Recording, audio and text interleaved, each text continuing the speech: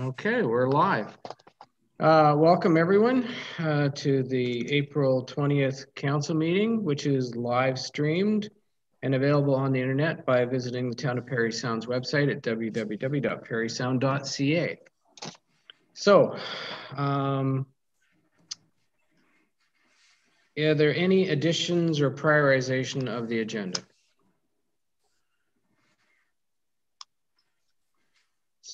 Seeing none, uh, may I have a mover and seconder for the agenda? Uh, moved by Councillor McCann, second by Councillor Keith, uh, that the council agenda for April 20th, 2021 be approved as circulated. Um, anyone opposed to that?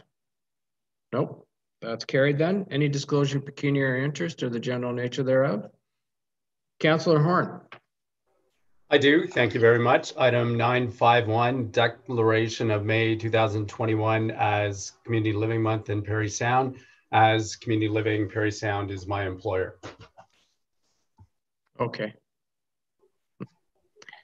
All right. Um, all right. Uh, any other declarations? No? Okay. Um, minutes.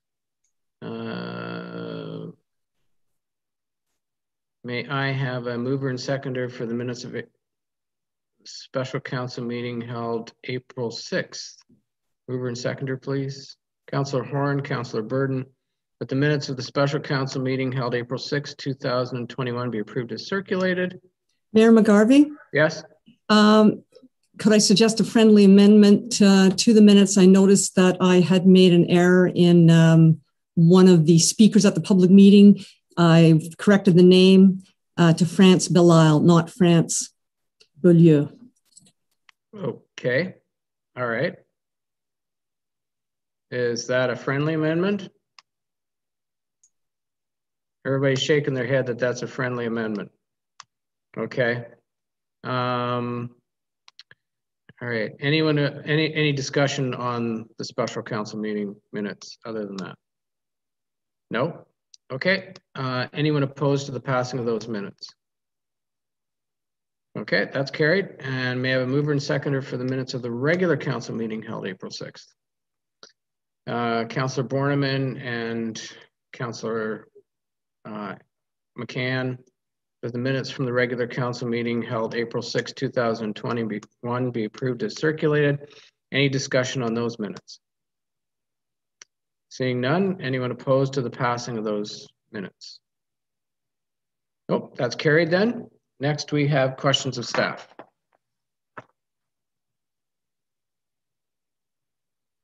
Uh, Councillor Keith and then Councillor Borneman.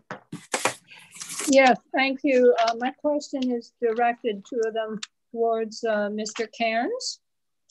And my first question, Mr. Cairns, uh, has to do with um, the skate park, uh, I know that we had been looking uh, over town as to security areas and, and possible video cameras in spots. And I'm wondering where the priority is, or is there a plan at some point for a video camera in that area due to uh, vandalism at times? Um, sure. So through your worship, um, not that I'm aware of. Uh, that has not been part of the discussion we've had uh, recently in terms of that specific location. Um, but it's certainly something I can take note of and investigate as to the logistics of doing that. Uh, if that's something that um, you know, council wants to consider in terms of, uh, there is obviously, I think, uh, there's a lot of graffiti and vandalism, uh, unfortunately, in that area. Um, whether the installation of video cameras or the enhancement of light or, or a combination perhaps of those kinds of things may help, that's certainly something we can look into and report back on. I, I think that would be a good idea. If you get a costing on that, I think that would be good. Everyone in favor of having a costing done on that? Yep. Okay. Everyone's in favor of that. And okay. I have a second question. Yeah. And that will be it, or I hope so. Okay. And that has to do with the recreation um, department. I'm wondering um, because we know better spring and summer is coming. Um, is there a, a maintenance plan um, for this upcoming season? And if so, are we somewhat on target? And what's the target date to be completed for? Thank you.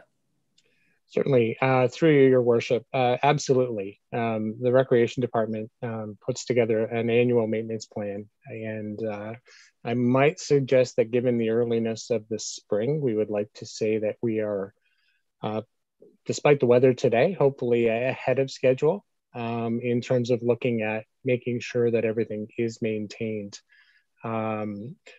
So just with that in mind, to the uh, the use of the BOCC for the vaccination clinics has been a priority as well to, uh, for our recreation staff to be able to facilitate uh, those clinics and um, and the use of that facility. So outside of that, that is the the concentration of the staff.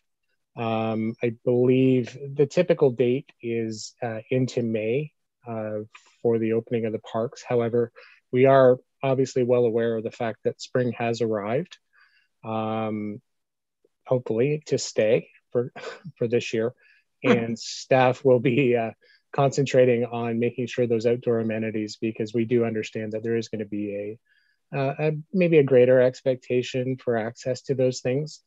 Um, I think maybe I'll just add to that uh, we have the two boat launches that are open, one at Champagne Street um, and one at Waubuno Beach. Uh, unfortunately, the ramp at the salt dock sustained some damage this winter with the ice activity. So it's going to take us a little longer to try and um, determine exactly what work we need to do and how we can do it because unfortunately it's in the water uh, where the damage is. So we are assessing that in an attempt to, to get that one open as soon as possible as well. Councillor Keith? Yes, just to follow up uh, to that, Mr. Cairns, I'm wondering about um, how much pivoting, shall we say, is going on because I thought that uh, uh, students this year, we may not be having uh, summer students. And also, I thought right at this moment, we were possibly short of, of one staff person. So, uh, how, how is that working out?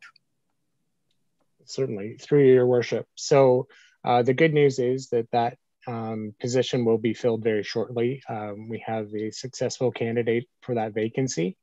Uh, and going through the, the budget process, the student positions um, are still in our budget projections.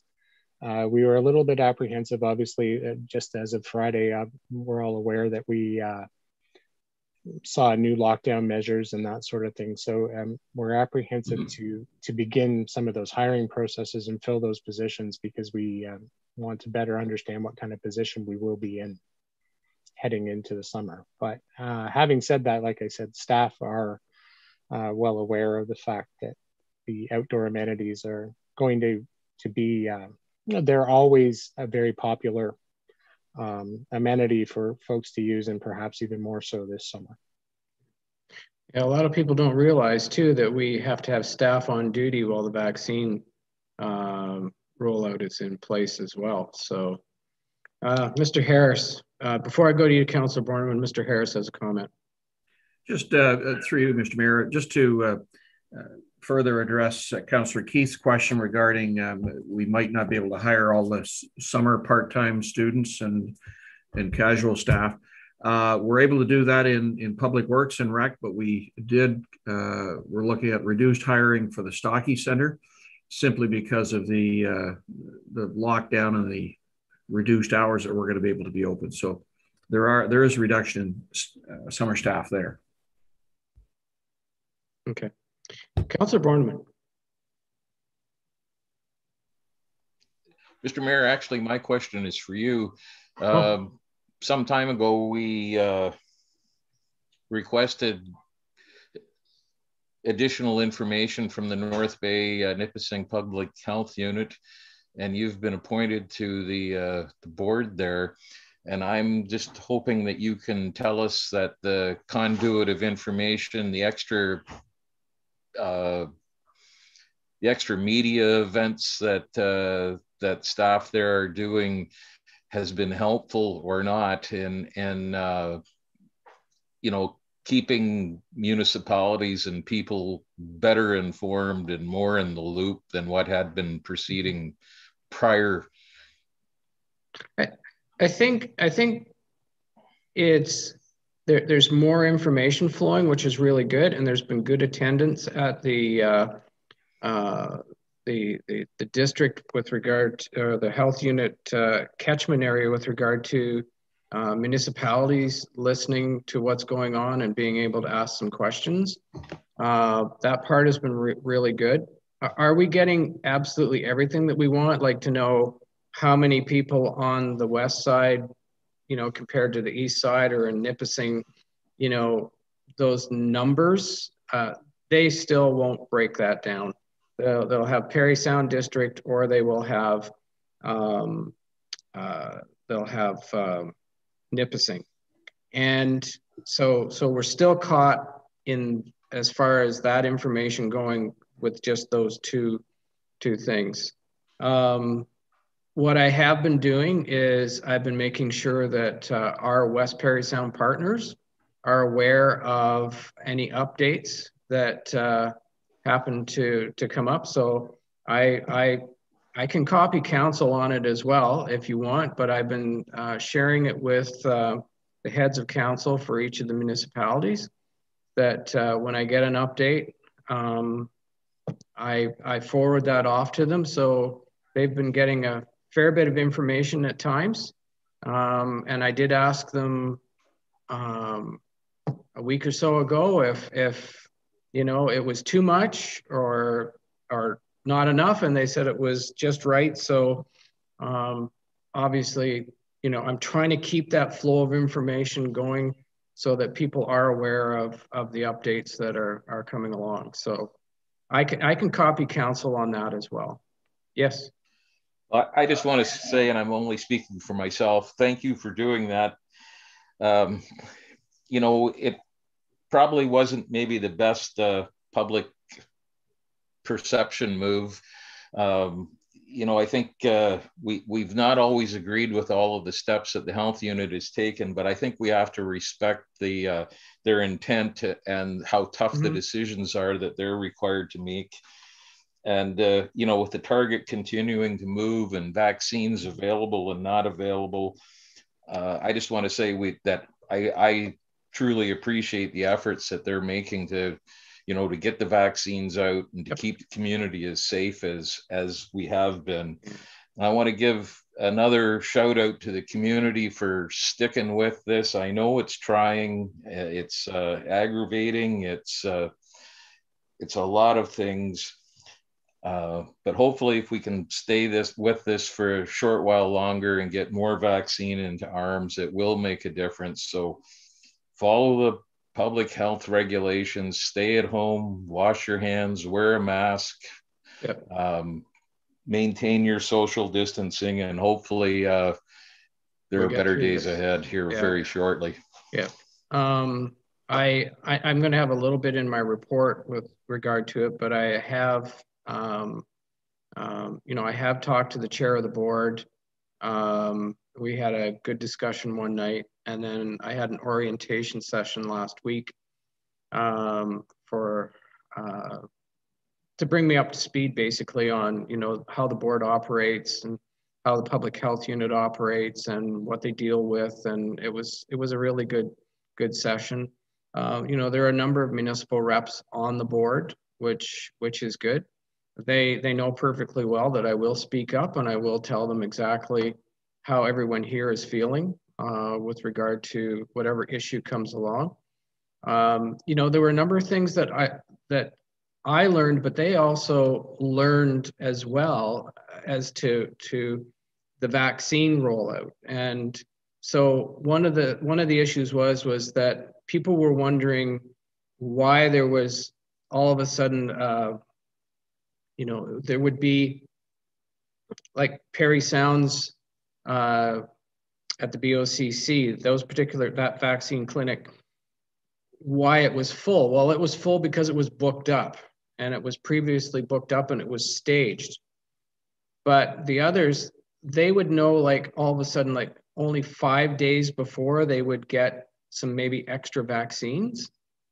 And um, so it was really hard to plan a vaccine rollout because they can only keep the vaccines for so long and they for storage wise and that sort of thing. So it was it was a case of all of a sudden having to get it out. The other part of it was was all of a sudden we found that there were people going to um, Bracebridge, North Bay, um, Huntsville to get a shot. And they were, a number of those people were booking through, not all of them, but most of them were booking through the provincial system. And depending on how the postal code related, it ended up sending, if you were, let's say in, uh, because I talked to people that live in Orrville and, and, and Rosseau area, and they were being sent to Bracebridge. And some people that were towards McKellar and Dunchurch and that sort of thing were being sent to North Bay. So the provincial system was sending people other places, and everybody was certainly very concerned because, you know, the stay-at-home order. Well, why are we going over there? It's because the provincial system didn't recognize where they actually lived, and they thought their postal code was closer to those areas. And because Muskoka is in phase two of the vaccine rollout. They're getting more vaccines than what we are. So there was, anyway, it there there has been this whole learning curve that not only I learning, but they're learning as well on how this whole rollout is is is taking place. So, and then uh, with regard to the pharmacies, you know, I had been told that both Pollards in the beginning, Pollards and Shoppers were doing it, and then Pollards hadn't been informed. But Pollards is doing it now. They are on the provincial registry, so you can go on the provincial registry, I believe, and now, and you can book, try to book for, I believe it's AstraZeneca at both Shoppers and Pollards. So, and my understanding is is that both both pharmacies have been overindulged with people wanting the vaccine. So that's good news. Um, we just have to, uh, I'm hoping that the, the uh, resolutions that all the municipalities have passed to put in front of the government will help speed up the number of vaccines that we get um, because we do need them here and we have a very vulnerable seniors population that's still trying to be vaccinated. So hopefully that answers some of the questions, Councillor Borneman. okay, any other questions? Yes, Your Worship, Councillor Backman. Oh, okay. Thank you. Um, I guess my question is for Mr. Harris. Okay. Um, we are seeing um, a lot of town infrastructure projects facing steep cost increases reported by many municipalities. And I'm just wondering with the millions of dollars of carry forward projects that we have going into the 2021 budget, um, how have we addressed these costs to ensure that um, these dollars are um, quoted accurately? And will there be a need for staff to review those carry forward projects moving forward to ensure that? Um, we are um, that these do ensure that the increase in construction costs for these capital projects due to the supply and demand and COVID induced backlogs um, are applicable and included into the budget. Um, through you, Mr. Mayor, Councillor Packwood, the um, the projects uh, there might be a few exceptions, but generally they're tendered or there's an RFP goes out. So there's a competitive process that we obviously try to get the uh, the lowest responsible bid uh, for the job. Um, it's going to be have to be be dealt with on a case by case basis as we receive quotes, and if we found that uh, the lowest qualified bidder is higher than the budget, we have a we'll either make a decision to try to scope back the size and this, the work envisioned to be done, or uh, if that's not possibility or is not recommended, then we would come to council on that item and, and uh, request additional funding.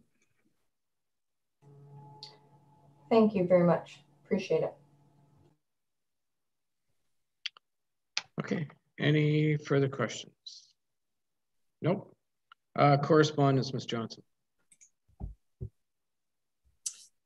Mr. Worship, there are a number of items of correspondence this evening. The first items on, uh, on the listing are resolutions of support to prioritize vaccine allocation for areas in phase one. Uh, all these resolutions from municipalities are using primarily the same text and are similar to the town's resolution 2021-038 passed at the April 6th special council meeting. So these resolutions are coming from the municipality of McDougall, Whitestone, City of North Bay, townships of Perry, Carling, Seguin, and just today we received uh, another copy from the township of Strong. So these are all being sent to the premier, the ministers, uh, and circulated to the various participating municipalities in the uh, Nipissing, uh, sorry, the, yeah, the Parry Sound District Health Unit. Uh, the next letter is from Vic Fedeli, MPP. It's actually a response to these letters, and in particular, it was a response to the City of North Bay's request for vaccine, vaccine prioritization. Mr. Fedeli notes that reports in early April this year showed North Bay Parry Sound region achieving 23% of their successful vaccine rollout. And on the same day, Premier Ford noted that Ontario had administered over 3 million doses of COVID 19 vaccine with another 100,000 shots in arms yesterday.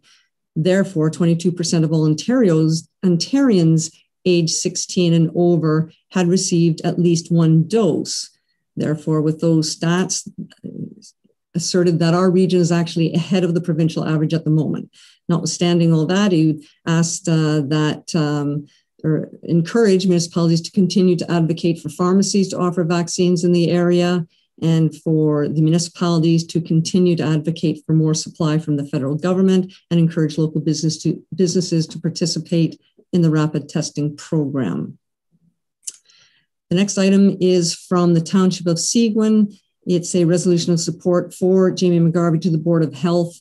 That resolution has been filed, and with that support, all municipalities in the western sector of Parry Sound District have supported Mayor Jamie McGarvey's appointment to the Board of Health, representing those same municipalities.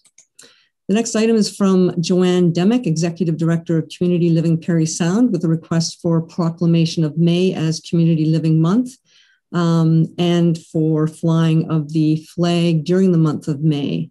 So, under the town's uh, flag policy, administrative approval has been given to the request.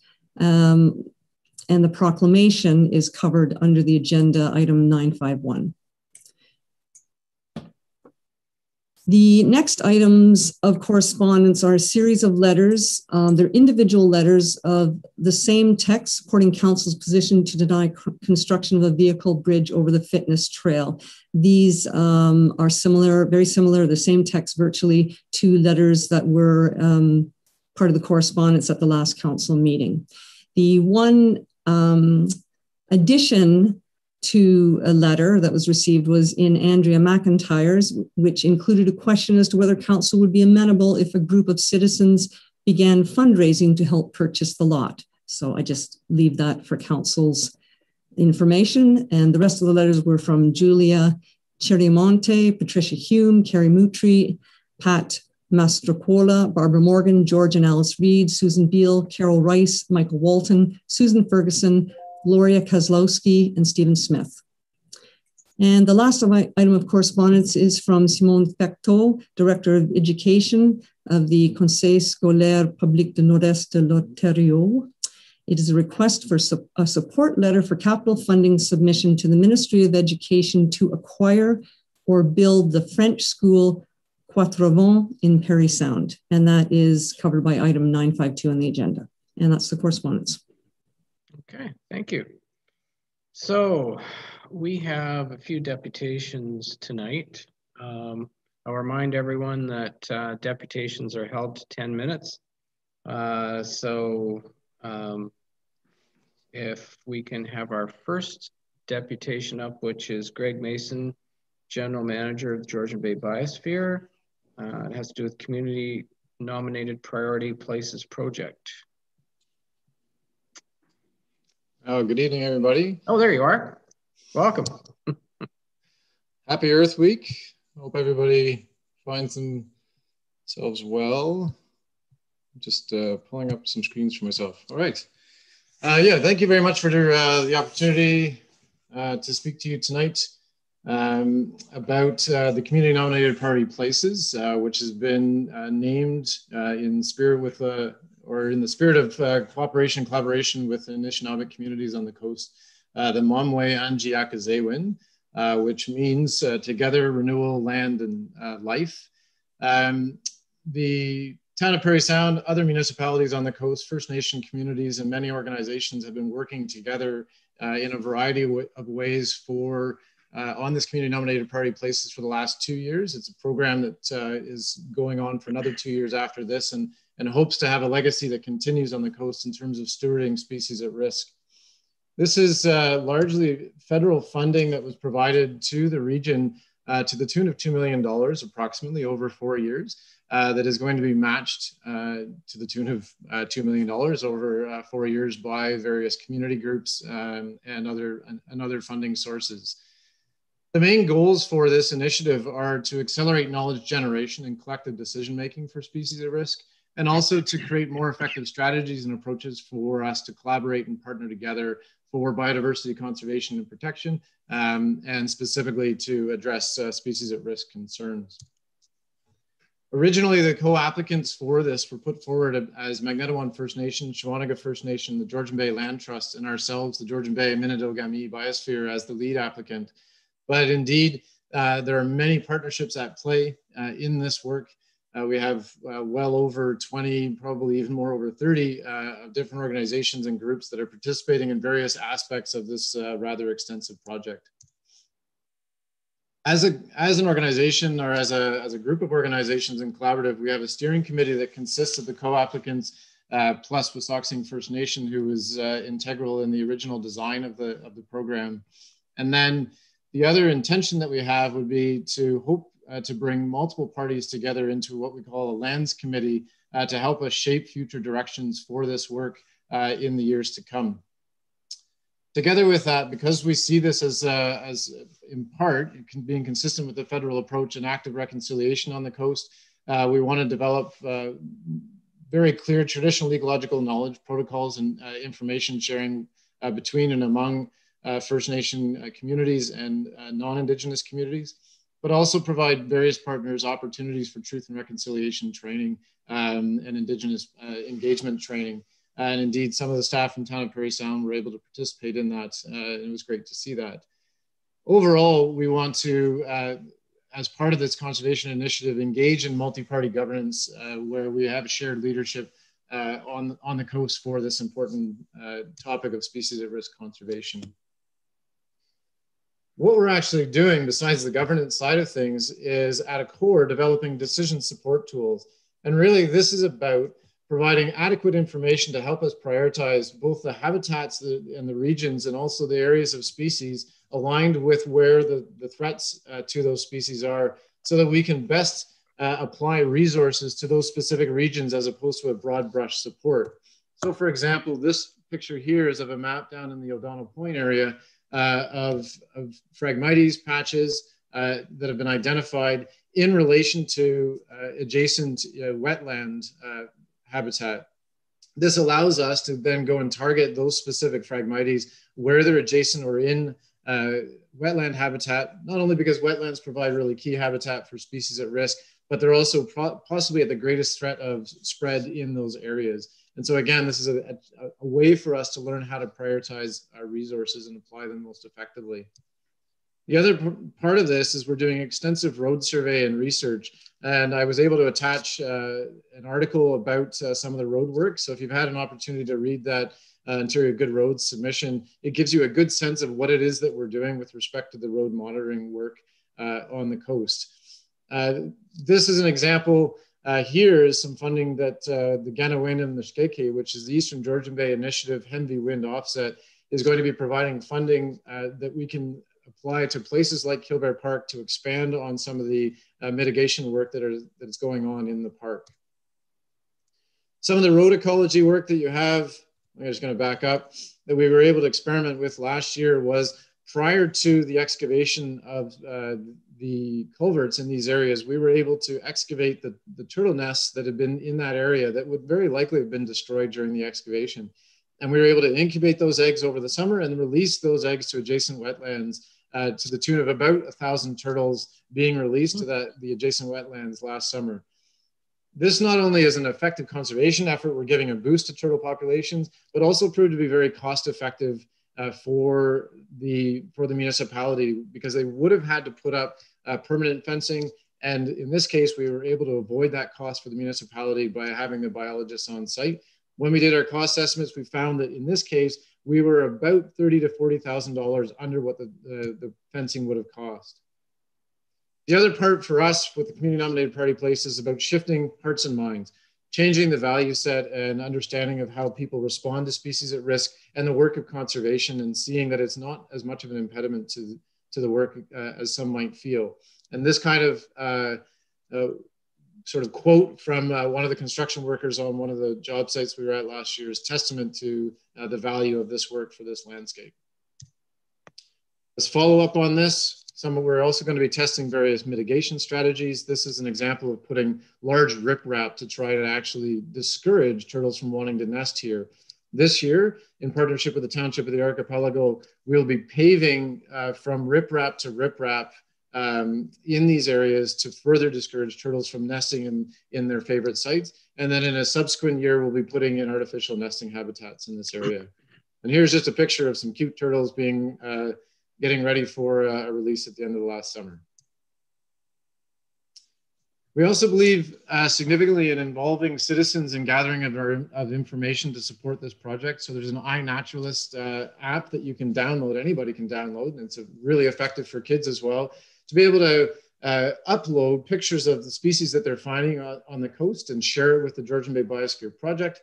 Um, and it's a fantastic way of engaging in, if you, even if you don't know what the species is, uh, by using this app, experts will come online, uh, ecological geeks, if you will, will come online and verify what species that you have uh, you have found and, and help you with the ID for that. The other one that's really, really a fascinating uh, part of this uh, project is the uh, putting up of Motus telemetry arrays on the coast. And these are towers that monitor uh, bird flight uh, through and over a region. So there were uh, seven towers that were put up last year, and there's a remaining tower to go up in the northern part of Georgian Bay.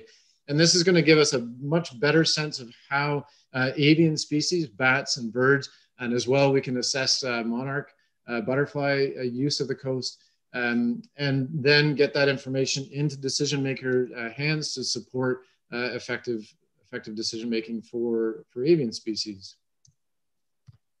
Some of the opportunities for municipalities, and, engage, and indeed we've engaged with a number of staff, uh, including your own staff on this, uh, are we're working to develop road management and ecology approaches, including best management practices for road management um, with respect to species at risk. And we're hoping to develop a tool that is very highly useful uh, and searchable, but also the, for your uh, roads managers. Um, but we're also hoping that they will provide feedback to us on how that tool can be adjusted, where it's working, where it's not working, um, and we can, we can tweak it over the years.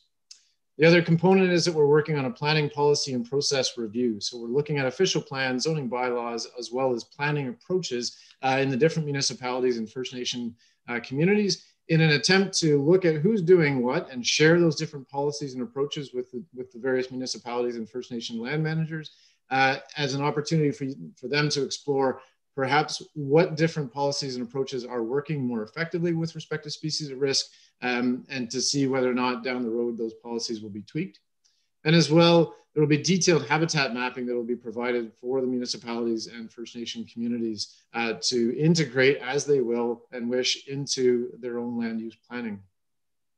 Uh, as mentioned, there's opportunities for education and outreach and as well cultural and cross-government uh, learning uh, for uh, municipal councils and First Nation councils, as well as staff that will be available uh, over the over the course of, of this grant and opportunity for species at risk. So I fully recognize that the town of Parry Sound uh, doesn't have a whole lot of species of risk habitat within the boundaries of the town, uh, but we did want to uh, include you and where you have an interest in any opportunities for us to engage with uh, your residents uh, and uh, your staff and council, would be happy to, uh, uh, to help. So I think that was 10 minutes. It was mostly by way of an update. There's no request for you at, the, at this time, but uh, thank you so very much and look forward to seeing you in person well, I want to thank you very much for the presentation. That was that was good, and yeah, you're pretty much right on time. Uh, are there any questions for Mr. Mason from council members? Councilor McCann. Yeah, uh, thank you. Yeah, thank you for the report. I'm just curious about the towers and, and how they're able to measure uh, the data. Um, I, I, I, guess without putting you on the spot to sort of explain the technical aspects of it, uh, what exactly are the towers measuring and how do they record the information and get it to you?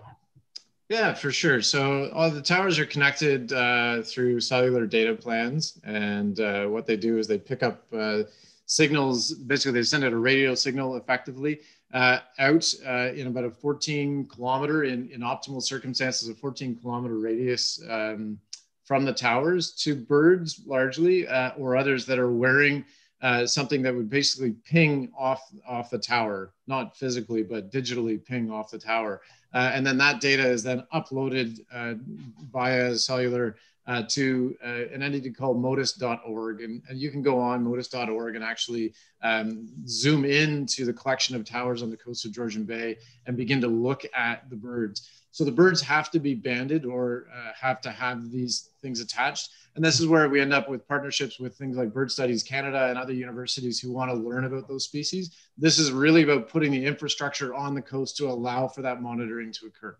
Okay, that actually was my next question was, do the birds have to be banded uh, in order to send back a signal of some sort? Very interesting. Thank you. Okay. Any other questions? Councillor Keith. Yes, uh, thank you, Your Worship.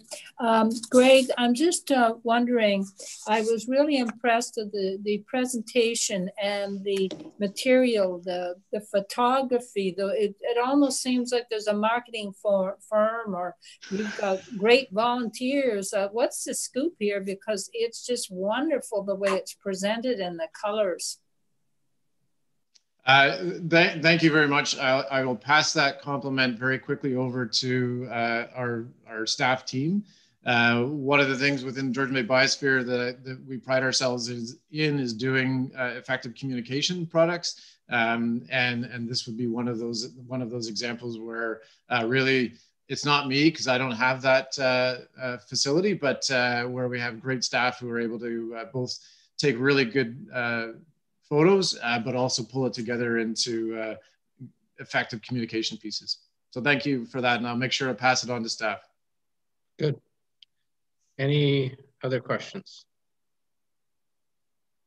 I'm not seeing any more. So uh, thank you and uh, say hello to everybody. And yeah, we hope that uh, we can get out of this and be able to meet in person again. So absolutely.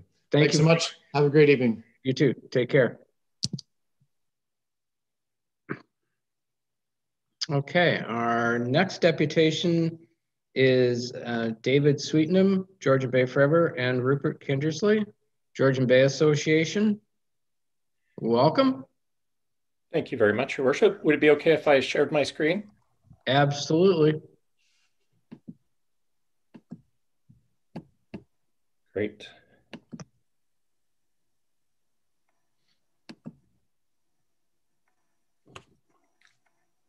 And I'm joined by Rupert Kindersley. My name is David Sweetnam, Executive Director of Georgian Bay Forever. Um, hi, I'm, I'm Rupert Kindersley, Executive Director of Georgian Bay Association. Good to see everyone. Good to see you. So, am I starting this off, David? Yes, Rupert. Okay. so, what we wanted to do today is just to give you a very quick summary of our um, October 2020 Water Levels Symposium and some subsequent uh, research that we did. And uh, this, uh, this just sets out what we uh, achieved on that, in that symposium. Um, we had some excellent speakers. Uh, we, we got all the top scientists and decision makers that we wanted. And we addressed these uh, seven questions. So the first one was to talk about what's known and not known about water level fluctuation cycles. The next was what's known and not known about water levels control structures. Um, uh, those include not only the three that are um, managed by, by the uh, federal governments, but there are some other ones as well, which we'll go into later. Um, then we were talking about, oh, do we have all the data we need to understand water levels? And if not, what data is missing? Uh, what data collection approaches could be prioritized? Then how can existing and, and, to be collected data be converted to a consistent format? It's very difficult to uh, interpret uh, the way it is presented at the moment because it's provided in, in, in metric, in, in, meters and feet and, and uh, different, different agencies in the different federal governments. So it's a bit of a mishmash and how, how that can be presented to better informed decision making. In the afternoon, we then focused in on more on the action side of things about what improvements could be made to coordination between the control boards and their coordination with the other water level control structures.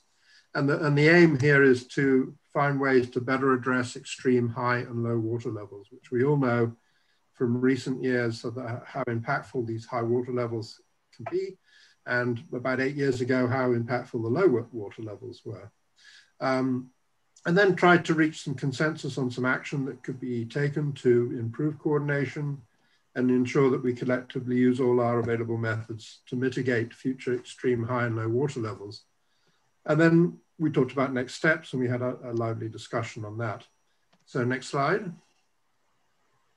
So we were uh, hoping to really pull together the experts, as Rupert said, and provide some products to uh, our local community and our municipal governments and uh, really be able to put everybody onto the same page as we start to look towards the future of what we actually need to do to uh, respond to these uh, changes that we're seeing. So there are significant outputs that are published uh, following this uh, symposium. These documents have been published to both the, the Georgian Bay Association and the Georgian Bay Forever websites and are available as uh, public documents. Uh, the first was a very extensive Q&A document. Um, it is a seminal reference because it is made up of inputs from all of the official agencies, governments, and uh, research academics who are uh, viewed as the leaders in their areas, and uh, also the International Joint Commission and all of its uh, staff and uh, scientists were part of this process. Uh, it contains 259 questions, so it, it is quite a, a you know I guess, an overwhelming document, 45 pages long, but as a reference for staff, as a reference for anybody that's interested in uh, knowing exactly what's going on in all of these question areas, it's certainly uh, quite a, a useful reference tool. And both the GBA and GBF will be producing a number of simplified communications products that will be public facing so that we can start to bite off uh, bits and pieces of this because we know how important water levels as an issue is to Georgian Bay and the residents uh, in the area. Uh, we also know uh, with some alarm that there are some potential changes coming. And uh, we wanted to, to, make those available to our municipal government partners so that you could see what uh, potential actions might be necessary. So I'll turn it to Rupert for the key takeaways.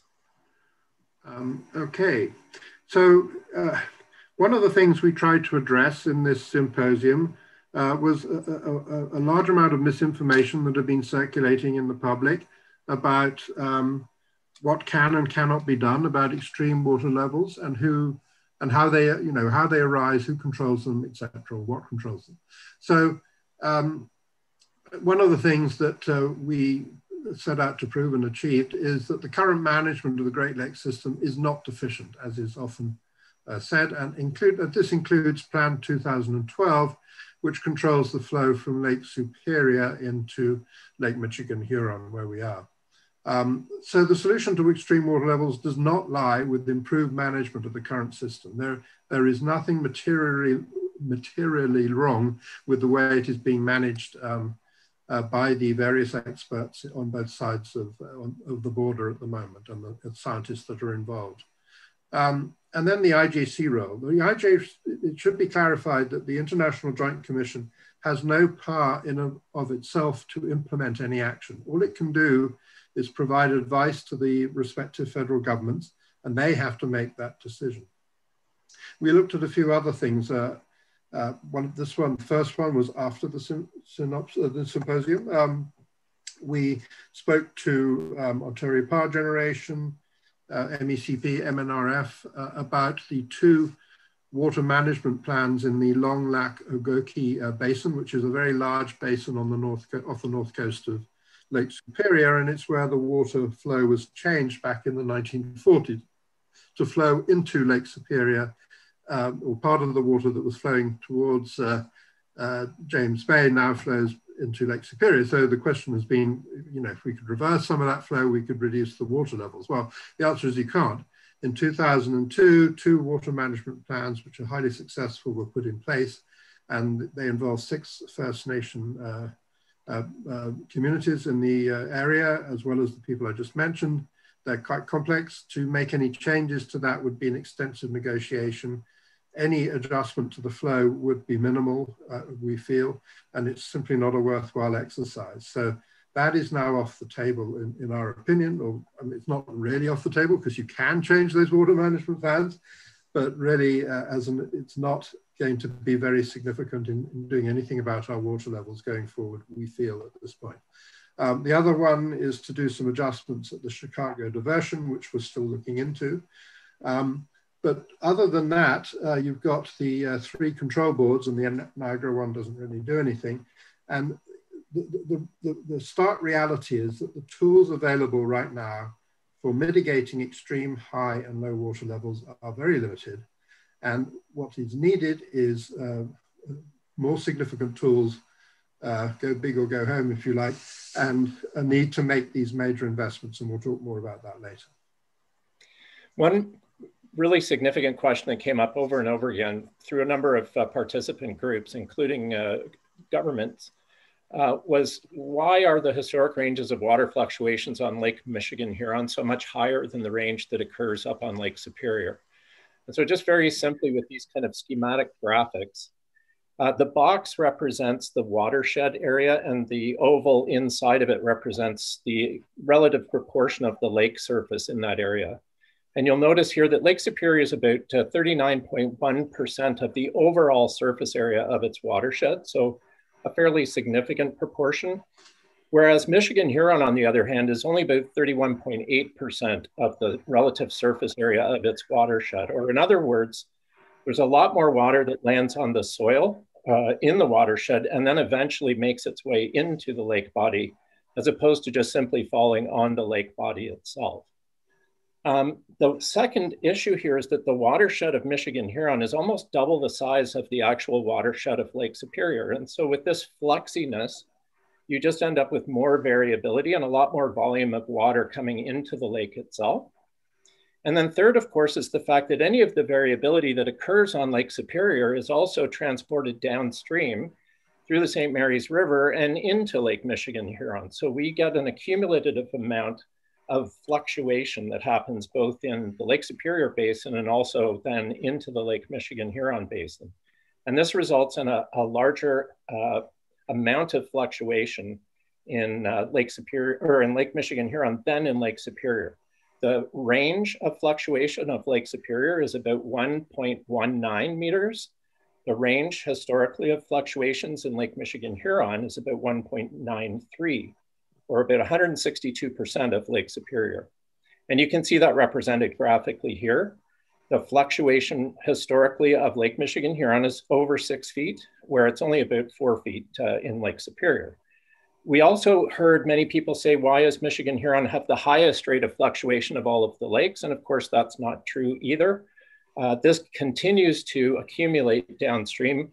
Lake Erie and Lake uh, Ontario both have wider uh, fluctuation levels than Lake uh, Michigan Huron does. Rupert? Okay, so one of the key slides that was produced at the symposium was this one from Plan 2012. Um, there's been a lot of talk about the fact that the flows uh, through uh, under the Lake Superior Control Board have been unfairly dumping water into Lake Michigan Huron. This is simply completely untrue, and this graph shows it. So if you look at this graph, the, uh, the green line is uh, the planned target, and you can see that the uh, number of months and the, the extent to which um, the flow rate has gone above that target, i.e. putting more water into Michigan Huron and, and, and taking it out of Superior is vastly less than the amount of water that is uh, the, the, you know, the decrease in flow, which has effectively decreased water levels on Michigan Huron at the expense of Lake Superior. So, uh, and this trend has continued since uh, in, into 2021, by the way. We've got some recent um, updates, haven't we, David, on that? Yes. Um, this slide just shows where all the control structures are. So uh, we've talked about Long Lac and Ogoki. Uh, we've talked about St. Mary's River. That's uh, from Superior to Michigan Huron. The Chicago diversion comes out of Michigan. St. Clair River runs out of Michigan Huron into Erie. And we've all heard a lot about that over the years. The Welland Canal um, is in fact a, a point of, of, where there could be adjustments and that uh, bypasses Niagara Falls, Niagara River itself. And then at the bottom end of the system, the Moses Saunders uh, Power Dam at the end of uh, uh Lake Ontario, where it flows into the St. Lawrence River. So next slide. So one thing that we heard was that uh, residents, businesses, ports, marinas, municipalities, really all of these uh, constituent stakeholders in our bay, they need to have the best available information in order to make important investment decisions, infrastructure decisions, and property uh, protection decisions. And we are aware that there is a study now, an updated model that's being uh, produced by Environment and Climate Change Canada. Uh, Rupert and I have seen in previous public uh, presentations um, preliminary data from this study, and it was quite alarming to us and part of the driver for why we wanted to talk about this particular study. Um, in those conversations, often there are misinformations or misguided statements that somehow there, the two different methodologies of, of looking at the net basin supply, one called the components method and one called the residuals method, are somehow at cross purposes. In fact, they are not at all in conflict. They're used for two different purposes. And basically, the measurements that uh, they produce are accurate for the purposes for which they are produced. But this new model from Environment Canada is going to use what's called the Large Lake Statistical Water Balance Model, which will reconcile any discrepancies between these two uh, methodologies. And part of what uh, this means is that action on specific improvements to the quality and content of water levels data and modeling will be coming through this process of uh, the release of this report and then the decisions that are made based on that science. Uh, and finally, one of the things that we thought was quite useful, and, and we had a discussion with the International Joint Commission and the Great Lakes Adaptive Management Committee about this. They had originally, back in 2012, proposed the formation of a Great Lakes Water Levels Advisory. And we felt, uh, based on all of the expert opinions that were at this symposium, that uh, pursuing that water levels advisory establishment would actually be a great idea and could help facilitate all of the uh, information and sharing uh, that Rupert talked about on the data front. Um, also, we are aware, and we have actually participated in the preparation or the uh, data accumulation of a project looking at the impact of water levels on our coastal wetlands. And one of the things that we kept hearing out in the public was that our wetlands were dying because the water levels were fluctuating more than five and a half feet. In fact, we know historically that's not true because water levels historically have fluctuated over 6.3 feet. And our wetlands are one of the healthiest uh, wetlands in all of the, the world right now in Georgian Bay.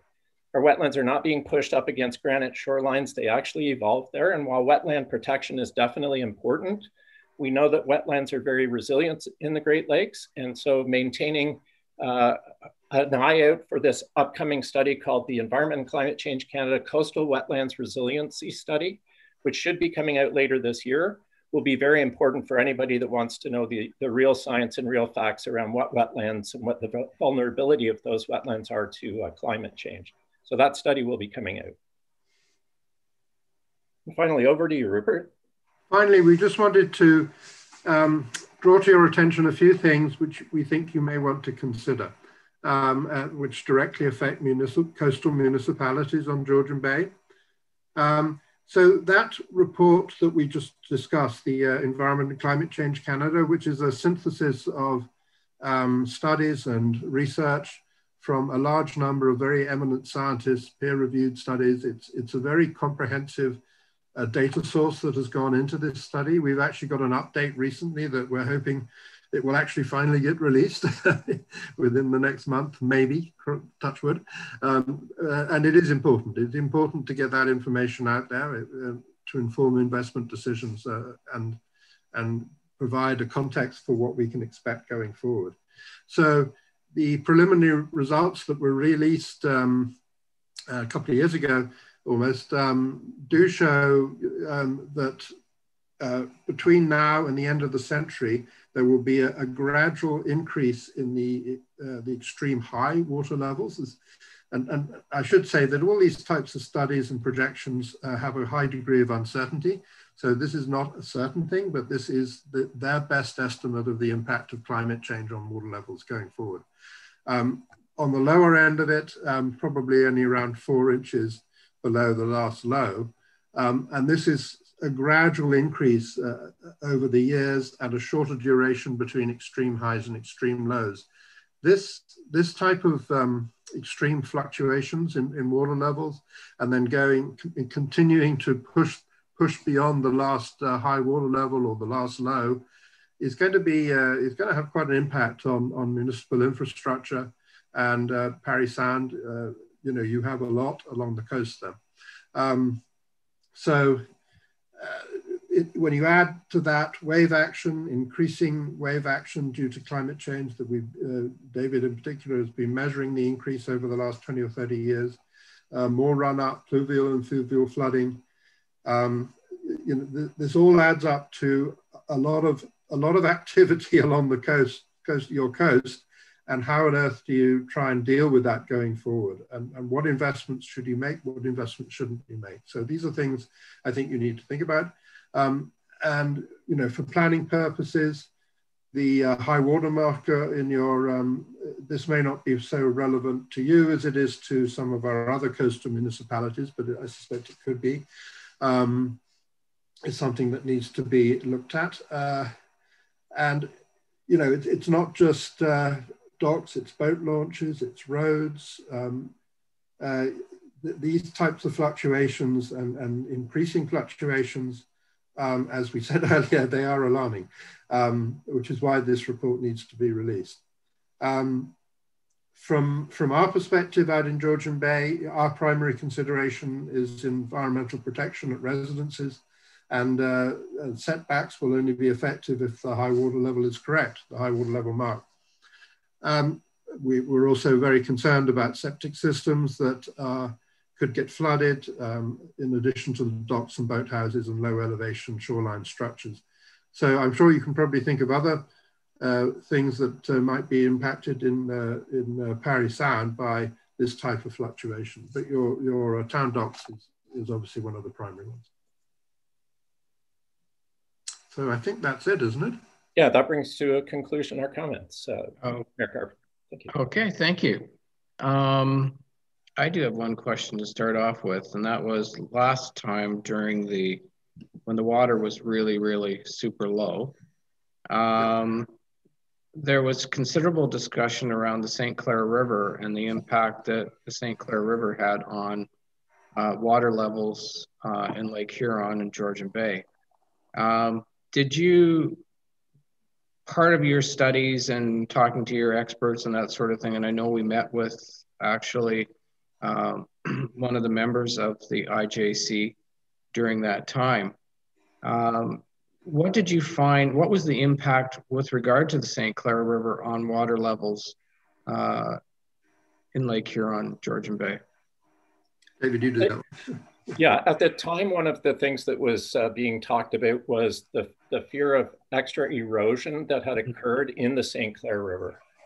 And of course, uh, that was studied quite extensively by the United States uh, Army Corps of Engineers and also Environment and Climate Change Canada. Um, if that had been true, it would have been great because it would have been a bigger channel to allow more water to rush out of uh, Lake Huron, and we probably wouldn't be sitting here with uh, the high water level. It, it did have an impact, but it was considered to be minor compared to the impacts of cl this climate variability and increasing precipitation that's coming into the basin. There's been a 35% increase in what are considered uh, worst case storms. And I know for sure because I've seen some of the preliminary uh, data that the pluvial and fluvial uh, floodplain mapping is being done, uh, you know, in Ontario and in concert with uh, the, the, minister's mandate letter from Environment and Climate Change Canada. I've seen some images of Parry Sound itself and what uh, what those changes may be coming and looking like. Um, so there, there is a component of uh, what flows through the river in the St. Clair, but it's not enough uh, to help us with mitigating high water levels now. Okay. All right. No, I just wondered because it was there was a lot of talk about that at the time, and from what you were saying tonight, there's there's there's other reasons for for what's going on. So I, I appreciate that. Um, any other questions from any member of council? No? Okay. Well, gentlemen, thank you very much uh, for the presentation tonight. And I know we're, we're working with uh, you folks on a couple of other areas as well uh, to try and uh, clean things up and help the environment. So uh, uh, thank you for the partnerships. it's greatly appreciated. And thank well, Jamie, thanks for inviting us. Thank you. Oh, take care. Okay, you too. Bye now. Bye. So our final deputation tonight is uh, Leanne Turner, and it's the request for the town's uh, for the town to have a permanent endorsement to fly the uh, pride flag annually during June. Uh, welcome, Leanne. Thank you very much, ladies and gentlemen, and uh, Mayor McGarvey. Uh, much appreciated. Um, I have a couple of documents that I'll be referring to. I understand that you would have received uh, prior to today a letter from Muskoka Pride, the Mary Street Center, the Muskoka Parry Sound Sexual Assault Services, and the National Director for Canada Pride. Um, I just wonder if somebody can confirm that everybody did receive that in advance. I know there were a number of things that we did receive that I read over the weekend. Miss Johnson was everything that Miss Turner uh, mentioned. Were they all received? I'm. Uh, I do not believe I have all of those items. Um, with respect to a letter from the Mary Street Center, there was an email sent without an attachment. I responded requesting the attachment, but didn't receive it. Um, there is a letter from Muskoka Pride that was attached to the material circulated with council. Uh, and there was an email from um, um, Muskoka Parry Sound Sexual Assault Services that, yes, indeed, was attached to the uh, agenda. And but I don't believe that I received anything from uh, director of Pride Canada. Okay, I'll uh, I'll be able to refer to those then. Thank you. Okay, well, thank um, you. That help that's helpful to know. So um, last year, um, I approached the town of Parry Sound to support the flying of the Pride flag in June of 2020.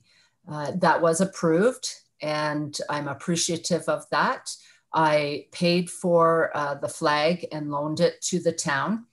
Uh, today's delegation is to request that the Town of Parry Sound Council acknowledge and declare in the Town of Parry Sound that June is Pride Month and to celebrate this by the purchase of and public display of the Pride flag, which is the rainbow flag, at the Town of Parry Sound uh, flagpole each and every June for the month of June uh, from 2021 uh, forward. And my rationale for that uh, relates to uh, good community initiatives. Um, I'd like to take you back to 1981. Um, that was the beginning of uh, the movement of Pride, and it was as a result of violence uh, by police against targeted groups. Uh, moving forward to 2016, Pride uh, and Black Lives Matter uh, got together to discuss how they can support inclusion uh, within uh, our, our communities. So in, um, in 2020, Council approved the flying of the Pride flag upon request, request and one question concerning the length of time was raised at uh, a town meeting. Um, the uh, issue, I guess, was addressed in that it was decided that uh, the flag would fly for one month, and there were uh, a couple of very positive comments to support it, and there were no concerns. Thank you to Council for supporting this request, and it was moved by Ms. Keith and Mr. Burton. Uh, the discussion uh, confirmed June as Pride Month, and that was by Mr. Bourne. Um, and I'd like to present to you that federally, provincially, and uh, in many, many municipalities in uh, Ontario, uh, June is considered Pride Month. And I would like us as a good community and an inclusive community to consider doing the same as other municipalities. So uh, Ms. Keith at the meeting in 2020 indicated that together we are stronger. And unfortunately, um, you know, we've had uh, news today of uh, a tragic event and trial that's gone forward. And, um, you know, the, the Black Lives Matter and the Pride have always supported that this is an example of showing that our community is strong and that we are together and inclusive. So recognizing Council's positive response in 2020, uh, I make the request to you as a good gesture and recognition so that uh, while Parry Sound does not have a Pride Committee, and I as an individual uh, would be happy to make this deputation every month uh, or every year, pardon me. Um, I think that we're at the stage and time in our um, municipality where we can, as a corporate or cultural uh, entity, recognize that Pride does provide for um, inclusion. Various municipalities recommend recognize pride as a mark of their corporate culture. And they have pride displays, they have pride celebrations, they may have uh, rainbows on uh, roads for a short period of time in June. And this would favorably place Parry Sound as supportive of Pride on a corporate cultural level. Supporting Pride Month indicates the culture of the town is supportive, is progressive, and promotes inclusion. It shows uh, a core value of compassion in action. Uh, references of interest uh, were provided on my document. Um, there are 20 ways a community can support Pride Month. There's many reasons why we would support Pride Month in the next uh, link. There's another link on 10 more ways to support Pride Month. Niagara Health has uh, Pride support uh, documentation on their website. Uh, Muskoka Pride started as a grassroots organization in 2009. And they indicated that they have had uh, invitations and did participate in uh, cafes um, I think it was at the Mary Street Center, and they support this by way of letter. West Nipissing now supports uh, Pride, and of course, we're all aware of the um, the Toronto uh, flag um, and Pride parade and and support of Pride. one of the uh, interesting things that I learned when I was um, sort of researching this was that there is a community uh, in uh, Ontario called Emo. I believe it's up north. And they rejected uh, the concept of acknowledging Pride as uh, something that would happen every year in June in that community. And there was quite a backlash, and they withdrew that uh, decision, and it's now um, uh, declared in June. Elliott Lake actually has the Northern Ontario Pride Network, and it's in its uh, fifth year. And I'd like to just mention a couple of the letters to make sure. One moment, please. So Muskoka Pride uh, wrote the letter in support of the request before council to raise the rainbow flag in Parry Sound during the month, month of June. They provided background as to Pride and the fact that um, while in Toronto it began in 1981, it actually started as a movement in 1969 in um, New York City. Um, they say that raising the rainbow flag sends a message to members of a community that inclusion matters and marginalized voices should be raised up. It makes a statement about the values of a community and the importance of a diverse and inclusive society. In smaller communities like those found in central Ontario, many people who identify as LGBTQ often feel alone and isolated due to limited resources and distance to urban centers. Seeing the rainbow flag lets someone know that they are welcomed and ce- celebrated in their community. Um, I won't read the other ones, but the Mary Street Center, they supported. Muskoka Pride, as you know, supported. The um, Muskoka uh, Parry Sound Sexual Assault Care Center supported. And I will find um, the letter from the Canadian Pride Group, uh, which is federal and they support it. So for those reasons, I would like uh, town council to commit to June every year as Pride Month and commit to the purchase of the flag and flying it. And I welcome your questions. Thank you. Okay, thank you. Um, any questions from any council member?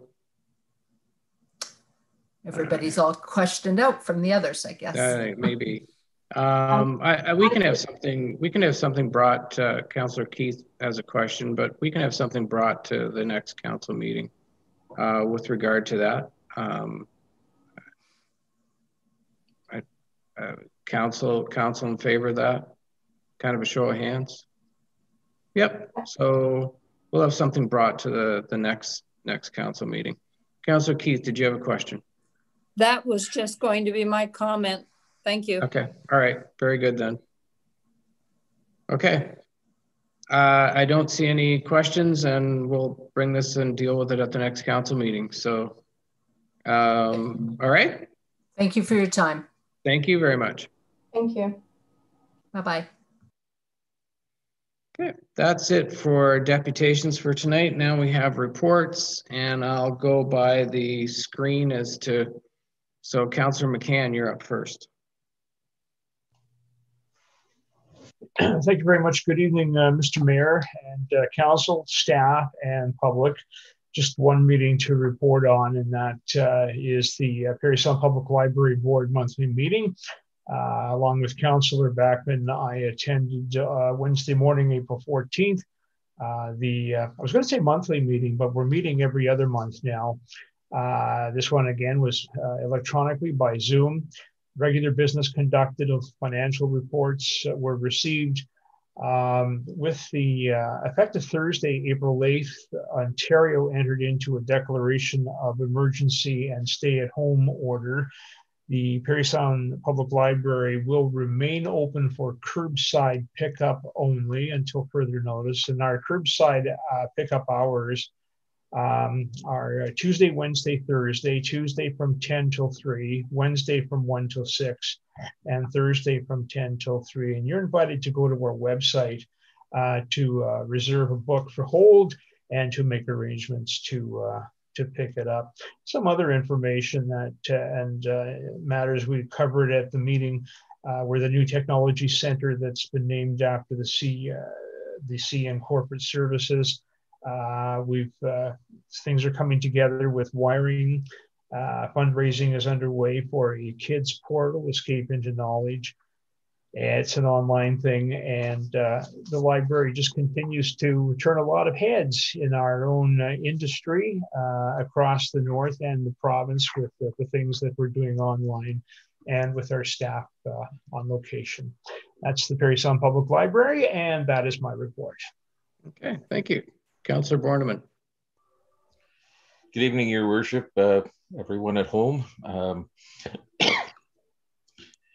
uh, at our last uh, meeting, I had reported that the uh, province had uh, agreed to fund 24 additional bed spaces at Belvedere. Uh, there is no formal agreement. There are no engineered drawings. They've just pledged this funding. Uh, in reviewing this, the board at Belvedere has come to the belief that 24 bed spaces is inadequate for the needs of uh, West Parry Sound. And uh, we've formed an ad hoc committee to investigate the potential of a campus of care site in our community.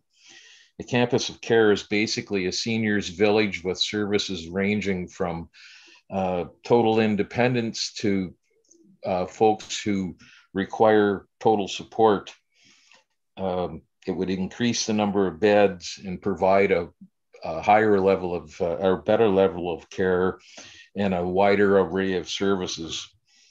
Uh, it's unlikely that the current site, which is, as we all know, pretty much maxed out, would uh, accommodate uh, such a, a plan. Further, uh, Belvedere was built before the, the, is aging and it was built before the world of uh, superbugs, making it difficult to uh, assure the safety of our seniors, uh, which is paramount and costly to maintain. Embracing this concept, which is a direction that the province has approved provides more beds, better care, and ultimately will prove to be uh, more cost effective in, in caring for our seniors. We're currently at a very preliminary stage of, of uh, this investigation. We have no agreement with the province. We have no design, no engineered drawings. I uh, bring this forward tonight only to keep council and the community aware that it's a direction that we're investigating and hope to be able to pursue at some point uh, in the future. Um, and that's my report for this evening, Mr. Mayor. Thank you, Councillor Borneman. Councillor Burton. Thank you, Mr. Mayor. Um, and welcome, everybody. Um, on April the 8th, I took part in a monthly meeting of the District Social Services and Administration Board by way of Zoom. And then on April 15th, I sat in on a special meeting along with our CAO, Mr. Harris, as we met with the CAO, Chairman of the Board, and CFO of the DSAB, the Parry Sound District Social Services Administration Board. Uh, I'm going to go back a few years here and give some background regarding this issue for the benefit of the public when the hub, which is the affordable housing project at the site of the former William Beatty School was developed, it was intended that it would be a property paying or property tax paying entity. Um, under provincial regulations, housing projects that meet the requirements that qualify as providing relief for the poor can apply for property tax exemption. After the hub development was completed, the developing agency applied to CMHC to request that they be considered for tax exemption and were granted that exemption. Uh, the cost to the town uh, for this move uh, is quite substantial each year. And of course, the other taxpayers, residential and commercial, need to make up that lost revenue. Since this facility, facility provides needed subsidized housing for people from the entire district, it hardly seems fair that only the taxpayers in the town of Parry Sound should bear the burden of this lost revenue. One of the requirements under the Relief for the Poor exemption states that public money must be used on the project uh, when it's developed um, in the case of the hub, money was granted by CMHC and was funneled through the DSAB.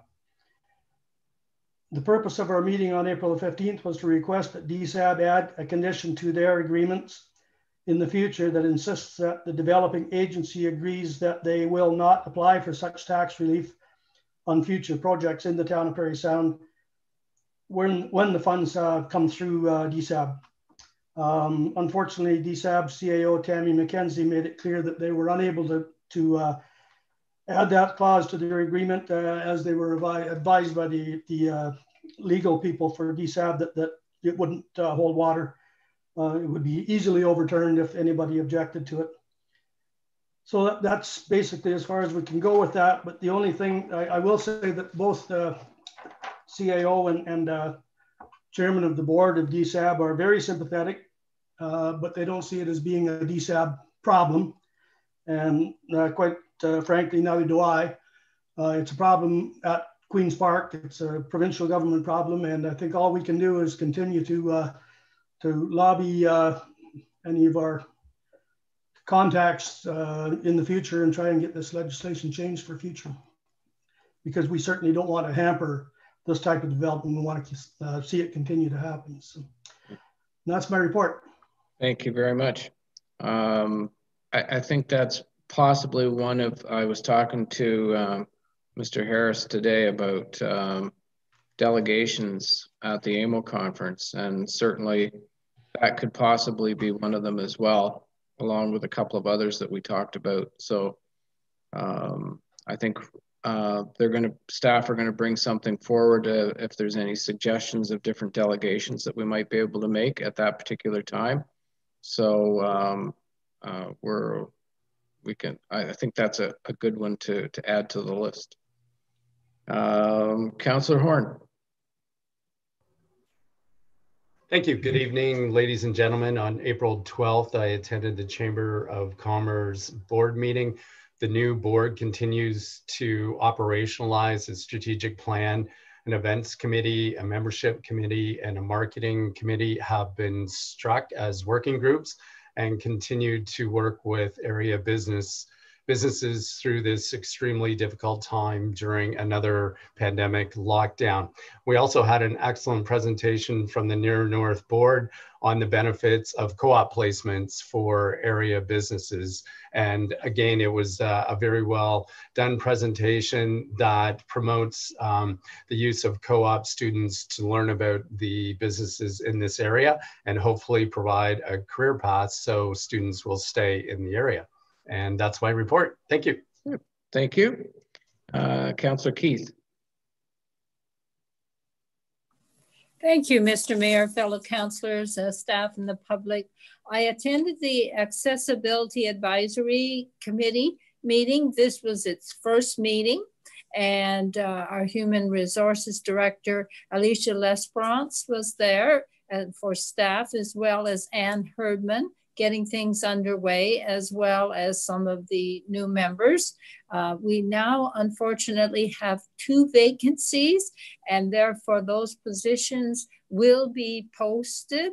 Um, this is a, the vacancies are uh, unfortunately the result of a death and a resignation. So there will be two positions posted and hopefully we will have uh, some volunteers come forth so we can add to this committee again.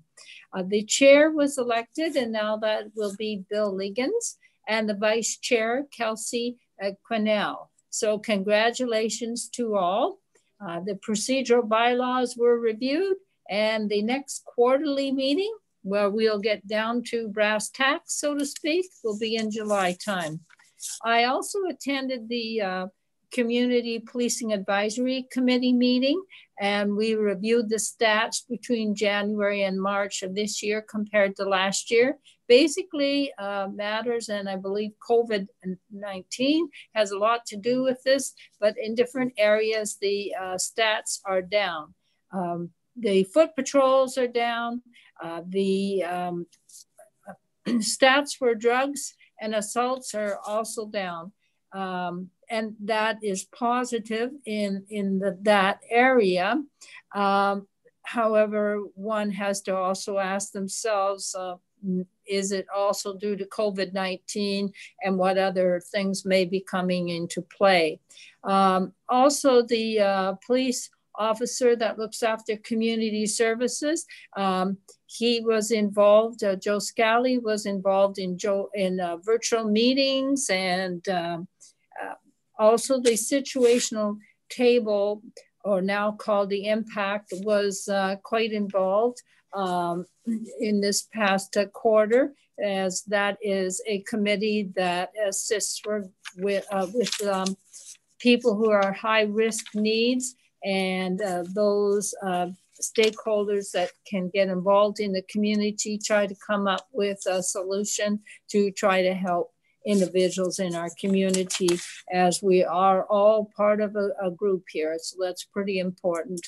And uh, finally, I would say that um, high there in the past uh, quarter uh, highway 400 was targeted and uh, the police stopped uh, a number of people and there certainly were some drug seizures of cocaine and hydromorph and fentanyl finally in conclusion i think this and we will hear more in the future about it is uh, the ontario government of ontario government is um, going to be establishing uh, police service boards throughout the province.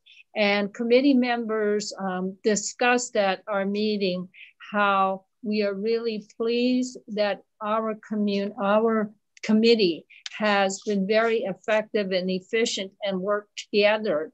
And committee members uh, were of the hope that the structure that we have been using in our community, because this is not the case throughout the province, that all um, uh, communities have been working uh, in a uh, cohesive uh, structure like this. But in our area, we are hoping that each municipality, uh, First Nation, and uh, a, an organized township, all of us can look at how we can come up with uh, resolutions that support at least the concept and the format of what we have been able to create in this community because uh, the advisory committee, which has been very long term in this area, um, as I said, the composition has worked very well. And we seem to have been able to be very proactive in uh, a number of ways. An example would be um, in reference to this situational table or now called impact that I just spoke about, because we know the Ontario government is looking at wellness in the community and how can we do a better job. And I would say that this uh, advisory committee and with the involvement of the OPP has been ahead of the uh, curve there because that uh, was created in 2017, as well as we've tried to involve those First Nations who at this point uh, were receptive to being in, a, in this committee uh, as to attending the meetings and providing input. So we're hoping that uh, uh, resolutions will eventually come forth so that we can show that as a group together, we can see uh, a format that we think may be able to be worked or tweaked uh, that can be beneficial to our community. And I'm sure we'll hear more in the future. Thank you. Thank you. Uh, Councillor Backman. Thank you, Your Worship. Good evening, everyone. On April 14th, I attended the public uh, Parry Sound Public Library uh, board meeting, which uh, Councillor McCann has noted to. And I also, on the same day, had attended an executive meeting um, for Park to Park Trails, and the new board continues to work towards our short term and long term goals which is um, really getting our um, trail in a, a suitable position that can be used for multi-use. Um, and then uh, before the uh, recent stay-at-home orders, I met with a gentleman named uh, John Aldworth, who um, has recently taken an interest into the Parry Sound Skate Park and in finding ways to um, improve, uh, make improvements to um, that uh, infrastructure and the area to support uh, our youth in the community. And that's my report for this evening. Okay, thank you. Uh, council staff and public, April 8th at 6.30 in the evening was the Parry Sound District Social Services Board meeting.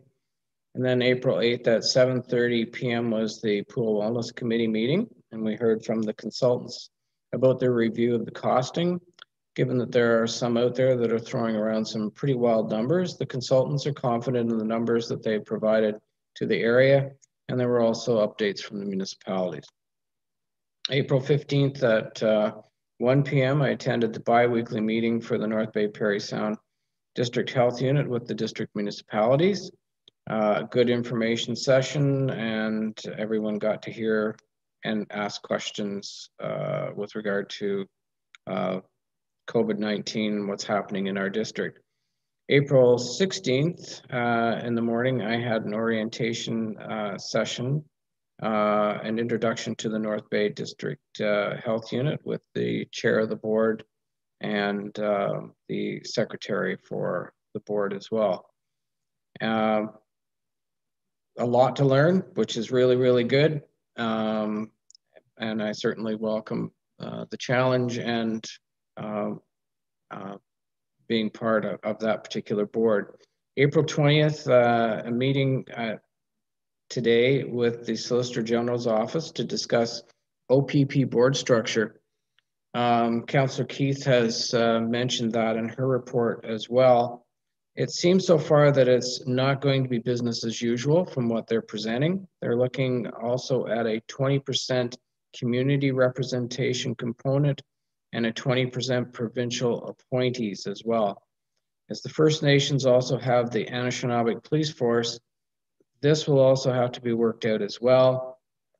They weren't clear as far as what we have here today, even though I asked the question as to how that is all going to fit together. Um, there were also questions around compensation and who pays for the remuneration for provincial and community members. And uh, will there be part participation from the unorganized areas as well? Uh, so this bottom line is, is this is going to cost us more. Uh, it seems that way anyway. And I'm sure there's going to be considerable discussion, certainly Councillor Keith at your CPAC committee um, they even threw out that there may be consideration for two boards in one detachment area, uh, given the makeup of that particular detachment. Um, and I, I, don't know, from what I found, there seemed to be more questions uh, to be asked, even though they presented what they were doing. Um, and I and I think you know, the, the different detachment areas.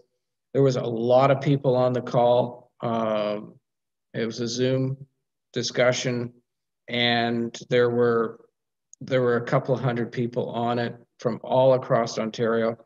They have another one scheduled as well. Um, I believe for later in the week, but this one fit with my schedule. So uh, I Councillor Keith, you're going to have a lot of questions and a lot of discussion, I think, at uh, the CPAC committee. And the CPAC committee here, here has worked really well. And um, I, I, just hope it doesn't have to change too much uh, and reinvent a wheel. So that's my report.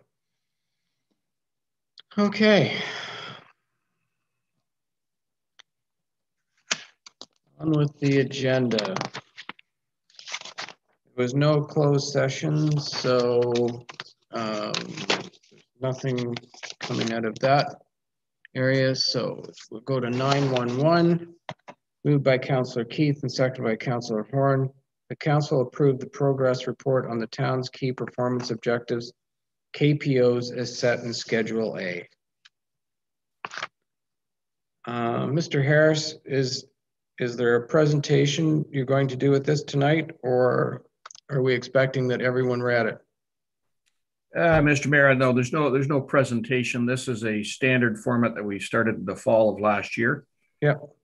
It, I just would say that in addition to uh, KPOs that that relate to the strategic plan, we've started to include quarterly key quarterly statistics. So if members of council see uh, or are aware of information that they'd like tracked and reported on a quarterly basis, we're happy to add that. Yeah, that's good. I mean, we also have our council task trackers too that uh, everyone can uh, tap into as well. Uh, Councillor Borneman, you had a question. I was just going to ask Mr. Harris if there were any new things that he might want to highlight for the public, but I think he pretty much just did that. Good enough. okay. Any further questions on this report? And I take it this report will be on the website so people can look at it uh, at their leisure, Mr. Harris? Yes, that's correct. The uh, the quarterly statistics will be there as well, so Good. members of the public can track progress. Good. Any any further questions? Not seeing any or hearing any. Anyone opposed to the passing of uh, this resolution? Nope, then it's carried.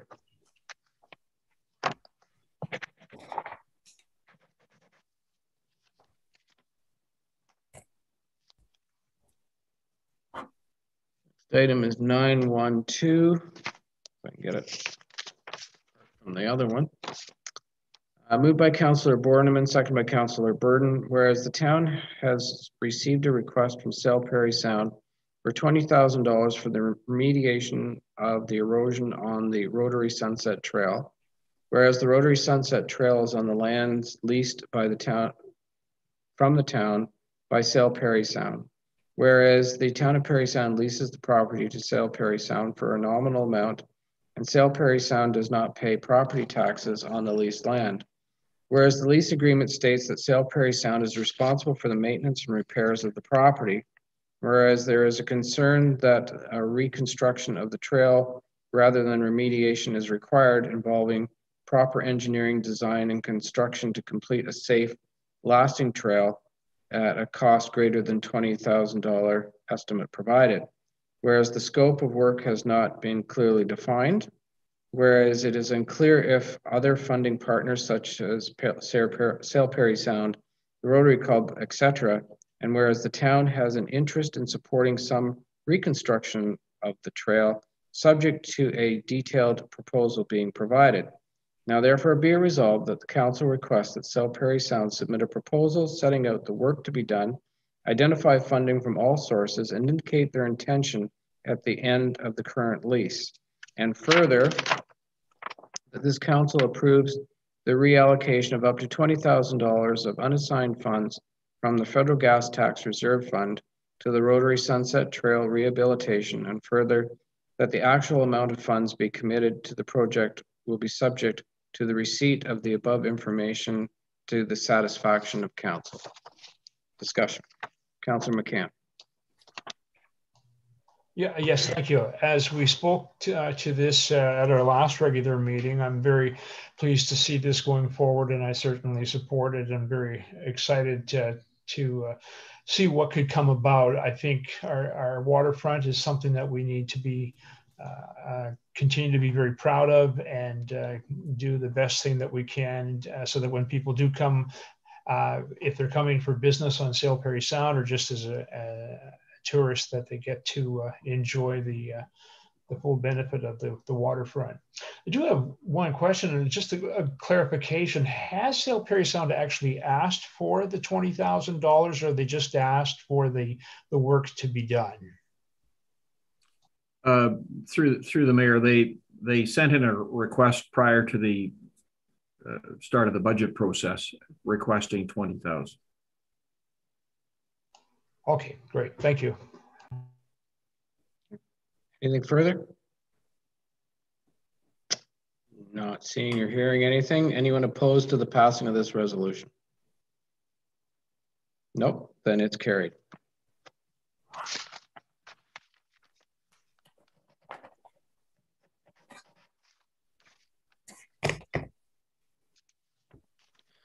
Moved by Councillor McCann, second by Councillor Backman. Whereas the Optimist Club donated $40,000 to the town of Parry Sound in 1994 for the use towards a recreation center, whereas the town is the lead applicant in a joint ICIP application on behalf of seven municipalities and two First Nations communities for a recreation and cultural center, whereas the timing to address questions concerns raised during the process and to confirm the support of all partners is critical. And whereas there a need to engage external resources in this process, now therefore be it resolved that council authorizes staff to utilize the funds donated by the Optimist Club for the purposes of retaining external resources in support of the recreation and cultural project. Discussion. Councillor Borneman.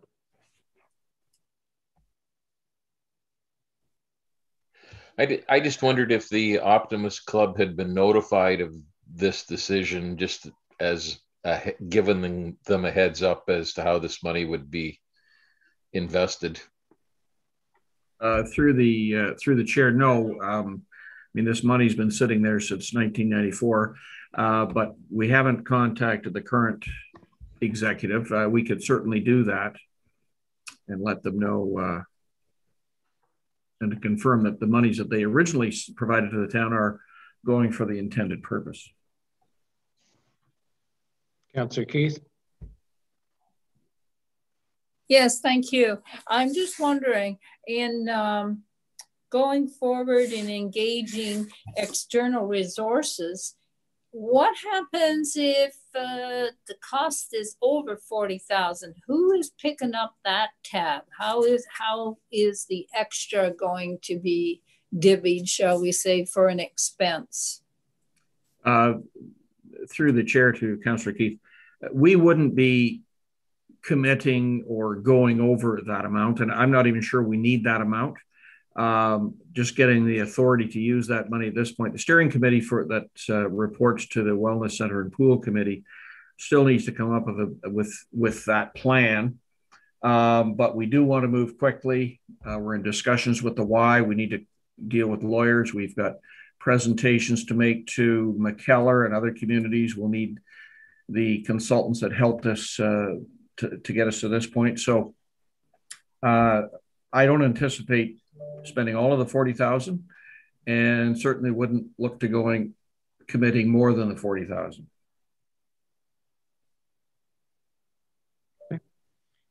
Anything further? Nope. Okay. Uh, anyone opposed to the passing of this resolution? Uh, okay, I'm not seeing any opposition, so that's carried.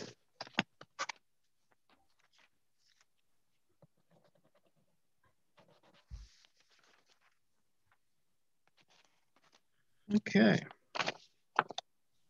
It's moved by Councillor Horn and seconded by Councillor Keith that uh, Council received the auditor's 2020 financial year-end audit planning report as presented by Giselle Bodkin, BDO engagement partner. And I believe, Giselle, you have a presentation or some comments you'd like to make. Welcome. Yes, I, Thank you, Your Worship and council members. Uh, great to meet you guys uh, remotely.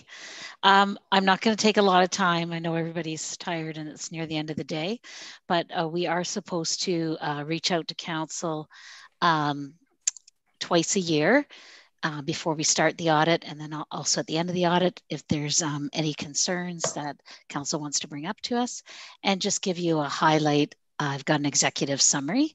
So I thought I would try to share my screen here if I could. Uh, yeah, I don't know if I can. Yeah, usually I can share the screen. I don't know if any of the staff there can share it. Michelle, did you uh, Do, do you want to come on and see if you can share it? Michelle Jin is our manager that is on the call too. Oh, here it is. Share screen. I got it. I don't know why I couldn't figure that out. All right. Sorry, guys. I've been doing this a lot lately. So I'm just going to give you the executive summary of, of the audit. So the audit team is myself, um, who's going to be the engagement partner, and Michelle Jin, uh, who's also on the call, is our manager. And we also have a senior that is working on our file. I'm hoping everybody can see here materiality. Materiality for, for um, the municipality is 690,000, which is very similar to last year. It's really based on your budget, and most auditors will take 2 to 3% of your budgeted expenses. Um, the timeline, we, we've started to do some interim work, and um, we look to do most of our work in May and report back to council. Um, the fees are around 31,000 for all of the um, reports that we're going to do because there's some sub audit reports too. And the other thing we want to highlight is any audit risk. So um, management override of controls is always a risk. And so one of the things we do is review journal entries that were, were done by management. Revenue recognition is always like a fraud risk. So um, we do some extra work around that. Um, purchases cut off. So what happens sometimes with municipalities is things come in after the year end. So we're always looking to make sure um, the treasurer has all the information from all the other departments so that those payables are accrued. Um, another thing is we have to look at any contaminated sites and put disclosure on the statements um, and any assets that were contributed. So these are kind of standard um, risks that you would see in a lot of municipalities. And I just wanted to, um, so uh, through you, your worship, uh, just to open up if if there's any uh, fraud that council is is aware of right now or any concerns they want want to bring up to the auditor. Uh, the reason why we ask this question is that if somebody knew something it might change our audit approach. We might do some extra testing in an area that was a concern. So pretty quiet. So i'm assuming nothing. And and again you can email us Councilor McCann, you had your hand up. Yeah, I did. I'm just kind of curious, going back to contaminated sites, what exactly are you looking for there, and why is this highlighted here with uh, with all the other uh, yeah other facts and numbers? Just curious.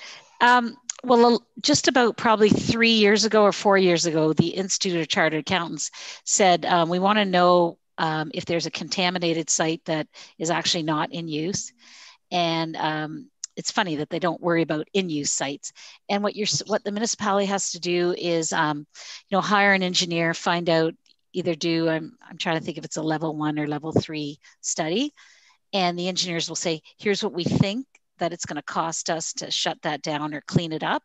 And if you're under the obligation to clean it up, um, meaning you've got something from the Ministry of Environment um, telling you that you have to clean it up, you're supposed to estimate the cost of that cleanup and accrue it in the financial statements. So it's like a, a liability risk yes. more than anything. Absolutely. And a substantial cost as well. Right? Yeah, and a substantial cost. Yeah. Okay. Very good Thank question. Thank you. Um, so bearing nothing on the fraud, we um, the, this is just kind of our timeline here that um, we expect to have the audit done in May and June uh, with your team and uh, send you the financial statements there shortly after. And um, yeah, and the, and the rest of this is just kind of the different procedures that we do on these risks that I was just talking about. And uh, yeah, I think uh, Michelle, D oh, and then just back to the fees. Um, I think I have, yeah, so we, there's a, there was a little bit extra fee this year because we were asked to help prepare the financial statements, which is usually done by by your treasurer, but there was a lot of extra groupings and mappings, so they need some help this year with that. But other than that, we don't expect uh, any extra fees. And um, yeah, Michelle, if you're on the call, do you have anything you want to add? Um, I am on the call, and I guess it's just we have to ask the standard questions for fraud. Is that um, any council members are aware of any actual suspected or alert fraud inside organization or with any of the service organizations, which are including the investment advisors. Uh, these investors advisors applicable to Parry Sound are um, CIBC, Wood Gundy, BMO, or One Investment. Thank you. Yeah, and then basically what we'll do through through you, your worship, we will um, after we finish the audit, um, we will usually meet with the management team, um, treasurer and CAO, and if there's any recommendations for controls. We are finding out of COVID, the controls have changed on most municipalities. Um, people are signing off things remotely. Um, so we've had to redesign some of our audit steps because of that um, because some controls we can't rely on. If, if you sign like a, you know how everybody signs off on a PDF, but a lot of times if that PDF isn't locked, then um, you know we have to do more substantive testing, which is actually looking at paperwork versus relying on controls. So that's the only thing that's happened in the municipal space this year that would affect your audit. I appreciate that, and that's happening across a number of committees. I know our AMO board, you know, has had to look at new ways of doing business as well, you know, um, because most people are working remotely now. So uh, the auditors have certainly, their auditors have certainly expressed the same things that you have as well. So uh, there's consistency. Thanks. Any other questions? Seeing none? Okay. Um, with regard to the report, um, uh, the council received the auditor's 2020 financial year and audit and audit planning report as presented by uh, Giselle Bodkin, BDO engagement partner. Anyone opposed to passing that resolution? Nope, it's carried then. Thank you. Thank you, everyone. Take care. Take care.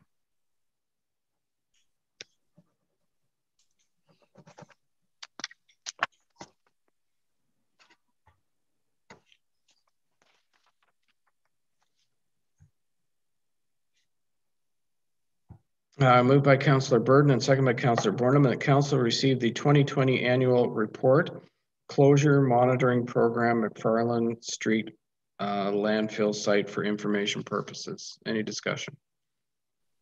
Um, Councillor Borneman, then Councillor McCann, then Councillor Keith. So, Mr. Cairns, uh, two questions. Is there anything new or exciting that we should particularly take note of with this year's version. And um, this report has been coming for many, many years. Is there any end in sight with the necessity of producing this report on a annual basis? Uh, through your worship. So um, I guess to answer the first question, uh, there isn't anything particularly uh, attention getting, which in this case is a good good thing. Um, the landfill site has been performing as expected um, through our monitoring program uh, with no new uh, or expected further new or expected degradation uh, to the environment. and to answer the second question, um, there is an opportunity for us to explore reduced uh, monitoring requirements. So the idea being that uh, we will be pursuing um, in the near future uh, some allowances from the Ministry of Environment, Conservation Parks, the ability to reduce the amount of monitoring and the frequency of monitoring of that landfill site based on its historic um, um, record environmentally. So uh, we've had some recent work up there with the uh, solar farm being placed on top of the closed landfill, part of the closed landfill. Uh, so the, the recommendation was we want to accumulate a little bit more monitoring data with that facility in place. There is no anticipated uh, negative impacts to the uh, performance of the closed landfill site due to that but we do want to have that performance data in place so that we can uh, have that discussion with the Ministry of Environment, Conservation and Parks going forward to reduce the frequency of our monitoring and uh, reporting requirements. Okay. Uh, Councillor McCann and then Councillor Keith. Okay, thank you. So I, Councillor Borneman uh, kind of asked the first question I, I, had in mind in terms of uh, what, if anything, specific stands out. Uh, question one, with the work being done on the solar uh, farm, uh, I, I, obviously the, the land is dug up and the disruption, I guess that's a concern then for, for potential uh, increased potential risk then, uh, Mr. Kearns?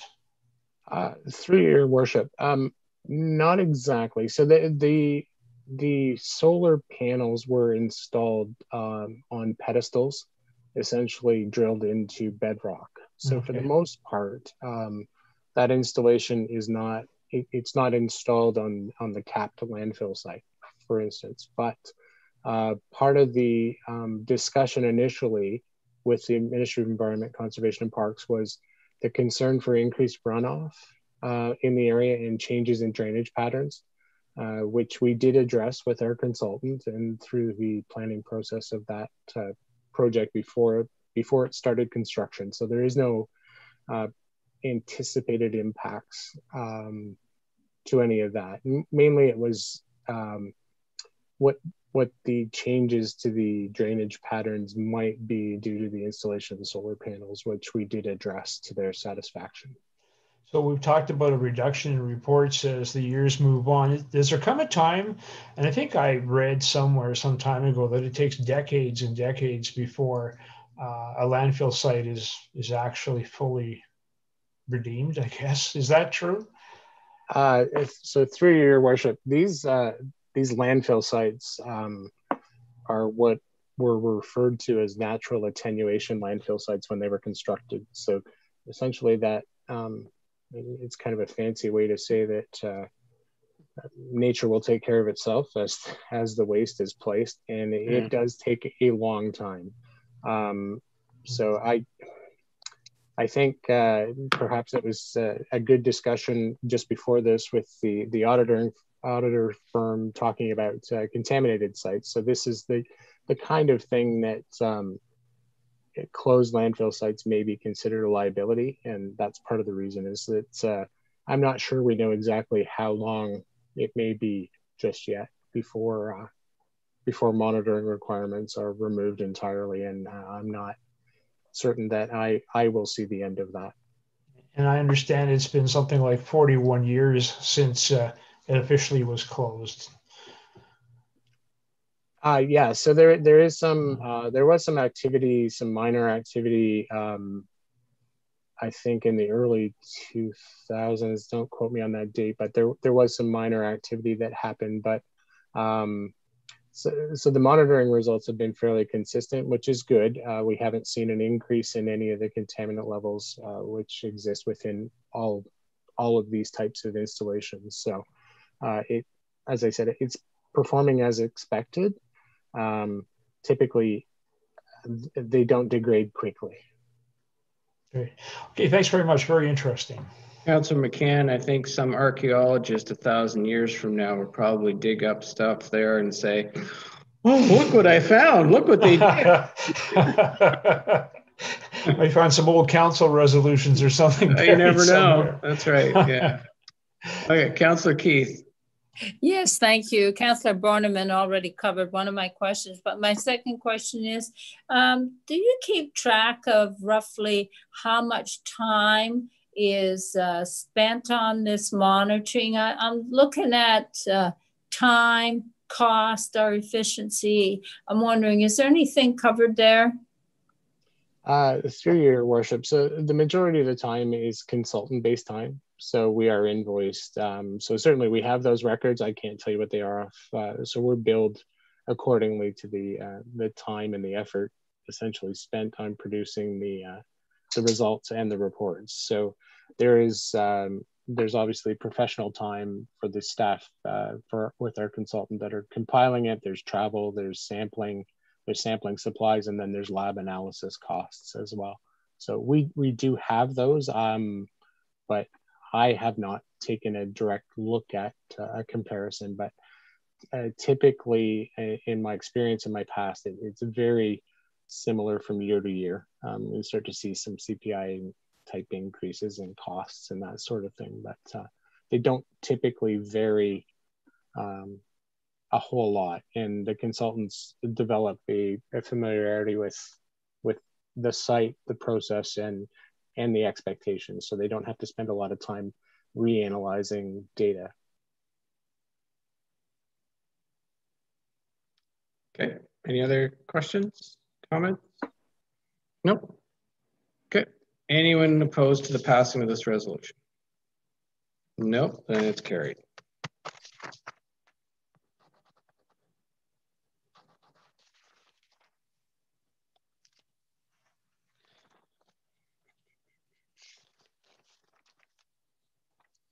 Moved by Councillor Horn, second by Councillor Keith, uh, that consent application B twelve slash twenty twenty-one TPS Halverson be supported.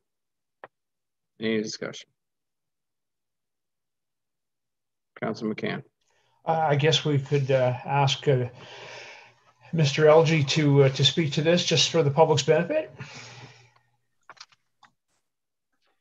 Certainly, through your worship, this is an application to sever an easement on some private property from Addy Street to an existing house on uh, the river known as 7A Cherry Street uh, to permit uh, water and sewer servicing to um, provide those services to it. Okay. Any other questions? No. Anyone opposed to the passing of this resolution? No one's opposed. That's carried.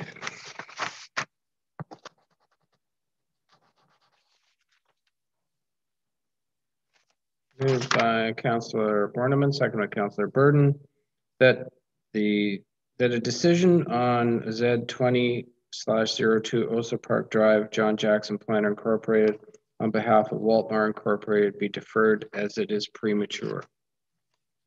Any comments or discussion? Councillor Borneman. Uh, this question, Mr. Mayor, is also for Mr. Elgie.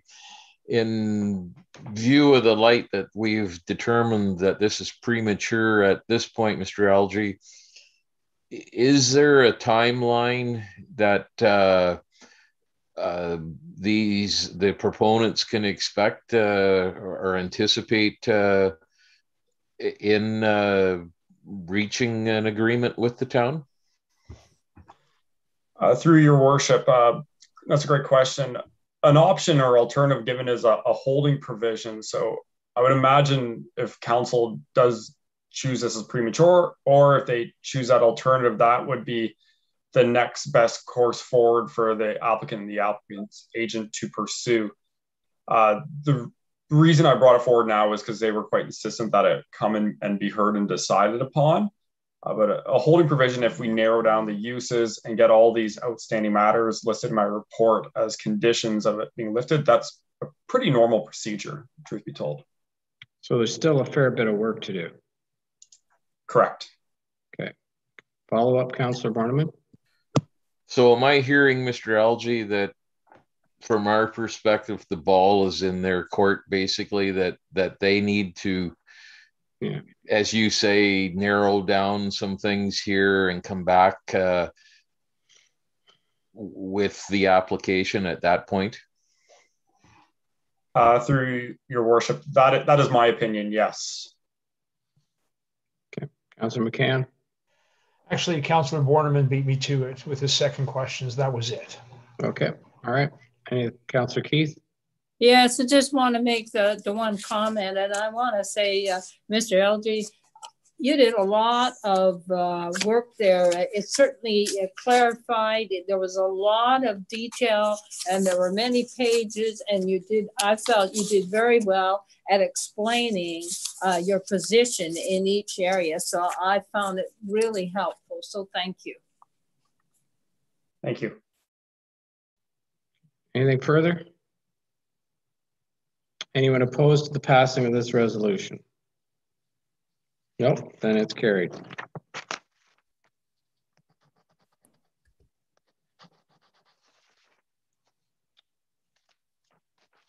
Moved by Councillor Backman and seconded by Councillor McCann, whereas Community Living Parry Sound uh, has worked to bring people and their community communities together for over 58 years, and whereas Community Living Parry Sound supports people as they develop their capacity to live, learn, work, and participate in all aspects of living in the community, and whereas Community Living Parry Sound helps the community develop its capacity to welcome and support people who have not always had the same opportunities as the rest of us to participate in their community in meaningful, productive ways. And whereas the Council of the Town of Parry Sound wishes to urge its citizens to celebrate the inclusion in our community of people who have a de developmental disability, now therefore be it resolved that the Mayor and Council declare the month of May Community Living Month in the Town of Parry Sound. Any discussion, comments? Anyone opposed to the passing of this resolution? Uh, carried then. Thank you.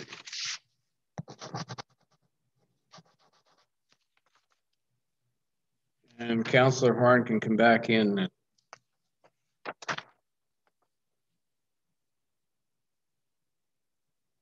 Ms. Johnson, you may need to just text him, maybe.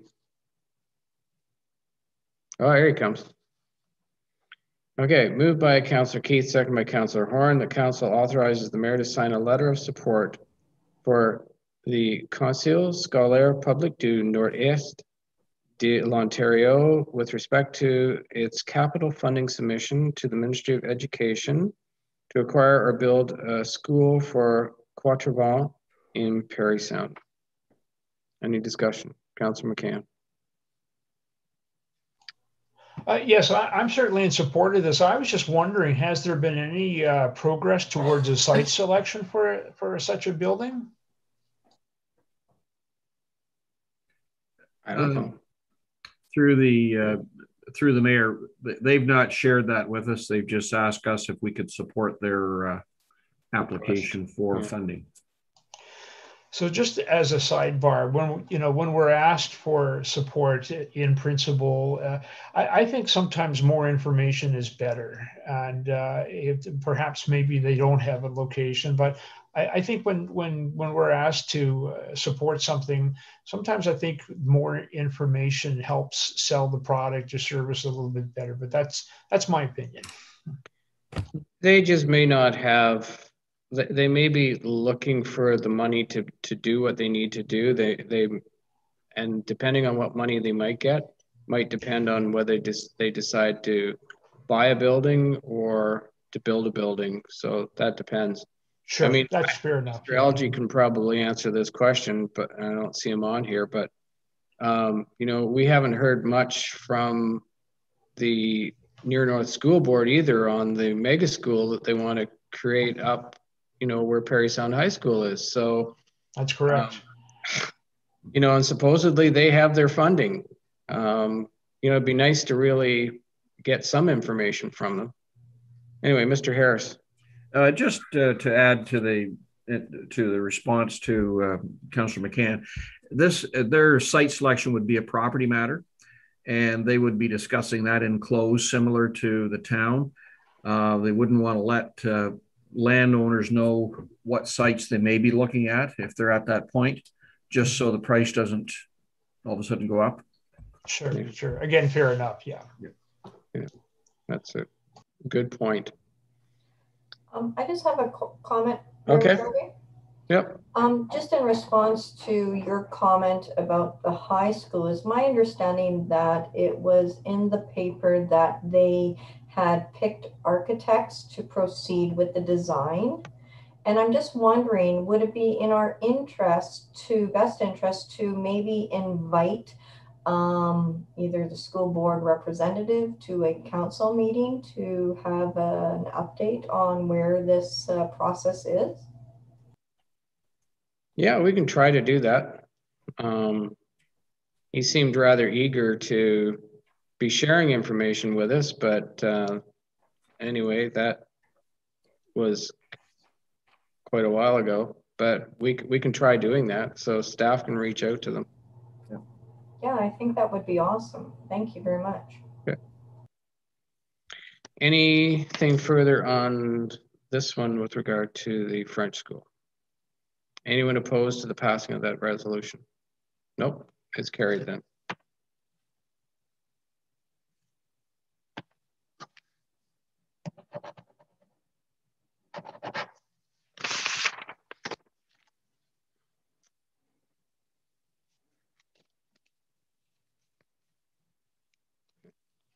Attached.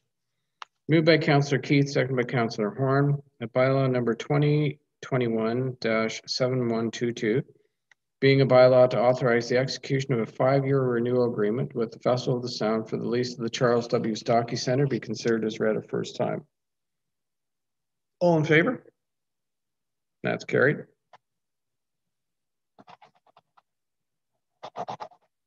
All members in favor of having the second and third readings? And that's carried. Moved by Councillor Horn, second by Councillor Keith, that the bylaw above mentioned be considered as read a second and third time, passed, signed, and sealed. Any discussion? Councillor McCann. Uh, yeah, I'm not sure who would answer this, but uh, I guess I'm just wondering or curious uh, if this particular uh, lease uh, has any provisions or contingency plans for the ongoing COVID pandemic and just uh, and what that would mean, especially if, if the the hall should remain closed or limited in, in its capacity. I think I can answer that. through Welcome, Ms. Norris. Uh, through your worship. Um, so much uh, like the rest of the world, we're waiting on public health measures closer to the date um, for this year. And I'm it is my understanding that with the Festival of Sound, they're coming up with plan A's, B's, C's based on what restriction levels are, uh, much like the Stockey Center is planning to do with some upcoming events that we're also looking at um, doing over the, the summer and into the fall. Um, there's, there's a lot of moving parts, but uh, we're hopeful that uh, the summer might offer some opportunity there, but we're working on different levels and I'm, I'm it's my understanding that they are too. Yeah, I know it's something the public would have been very interested in, so that's that's good. Thank you. Any further comments, discussion? Nope. Anyone opposed to the passing of this bylaw? Nope. That's carried then.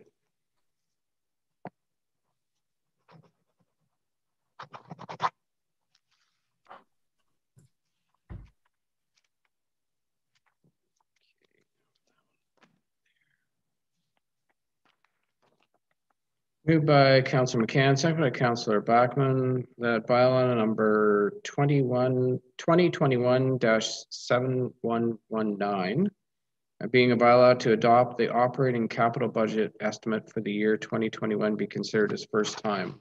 All in favor? And that's carried. All members in favor of having the second and third readings? That's carried. Moved by Councillor Bachman, second by Councillor McCann, that the bylaw above mentioned be considered as read a second and third time, passed, signed, and sealed. Any discussion? I have a question, Mayor McGarvey. Oh, there you are. Okay, yep. Thank you. Um, my question is for Mr. Cairns. Um, in relation to the $80,000 that's been allocated to um, Mission Park. I'd just like to know if you could elaborate on exactly what that entails. I know previously we had approved 40,000. We've recently had an increase and I just wanted to know if you can explain a little bit about that uh, budget cost. Um, certainly, through your worship, uh, I believe that the overall cost includes both the estimate for the playground equipment replacement as well as potentially an accessible play surface.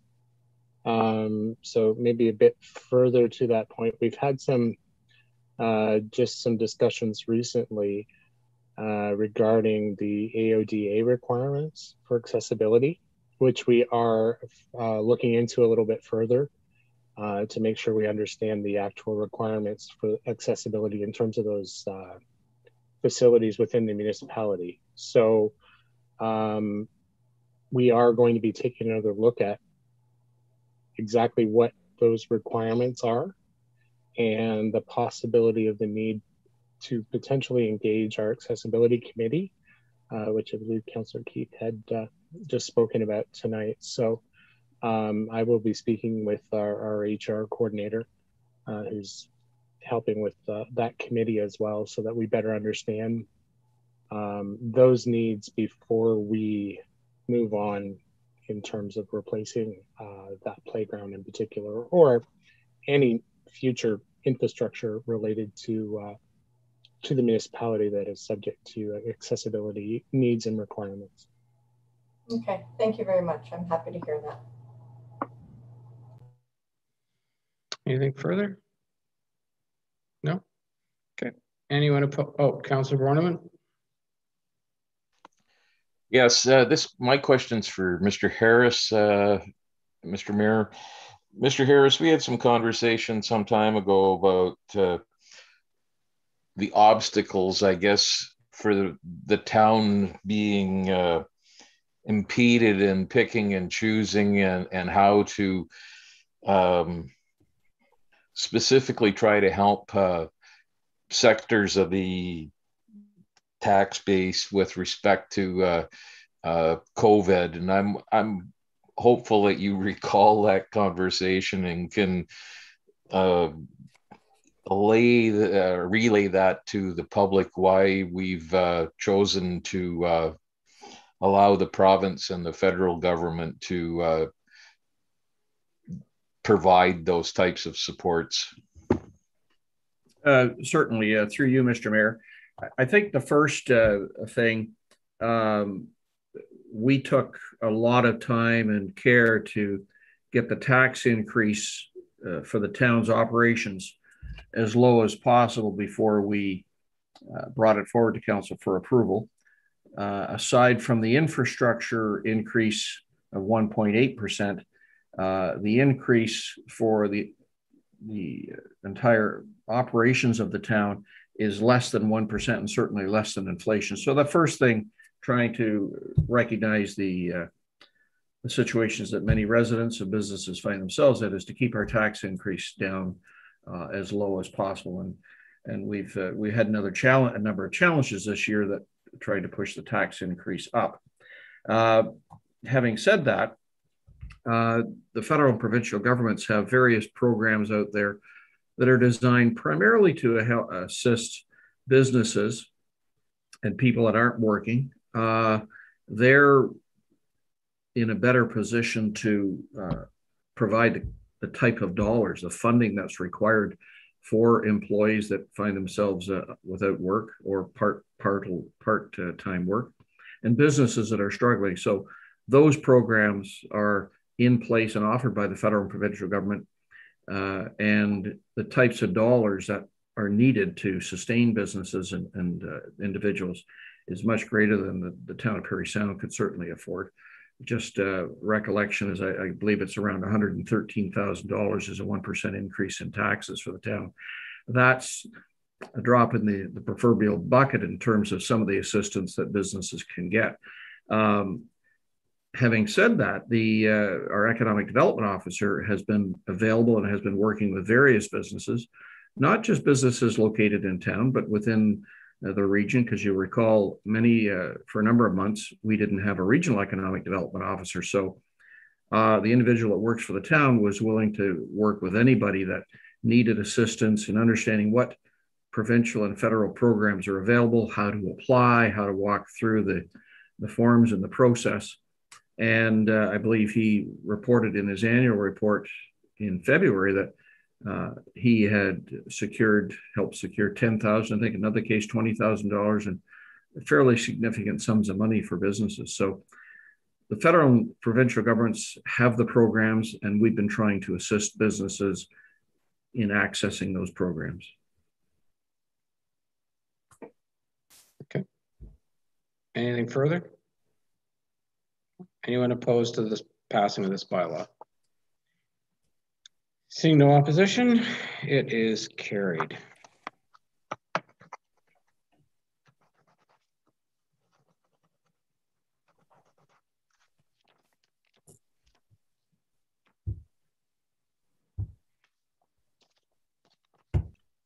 Moved by Councillor Burden, second by Councillor Borneman, that bylaw number 2021 7120 being a bylaw to authorize the execution of a license of occupation with Parry Sound Cruise Line for the use of dock at LT 6-21 PL 154 Parry Sound be considered as read a first time. All in favor? And that's carried. All members in favor of having the second and third readings. That's carried. Moved by Councillor Borneman, second by Councillor Burden, that the bylaw above mentioned be considered as read a second and third time, passed, signed, and sealed. Any discussion? No. Anyone opposed to the passing of this bylaw? That's carried. Thank you.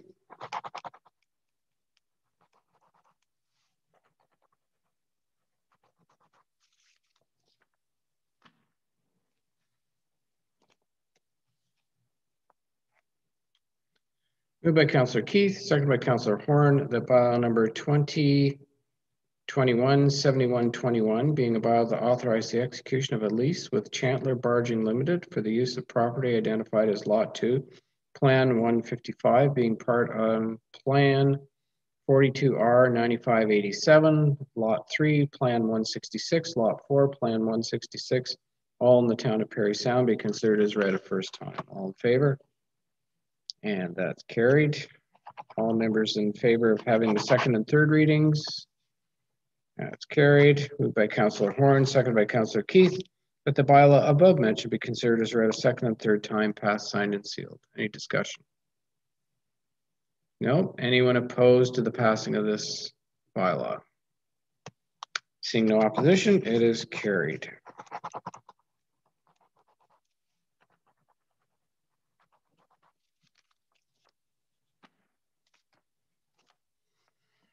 Moved by Councillor McCann, second by Councillor Backman, that bylaw number 2021 7123 being a bylaw to confirm the proceedings of council be considered as read a first time. All in favor? And that's carried. All members in favor of having the second and third readings. That's carried. Moved by Councillor Backman, second by Councillor McCann, that the bylaw above mentioned be considered as read a second and third time, passed, signed, and sealed. All in favor? That's carried.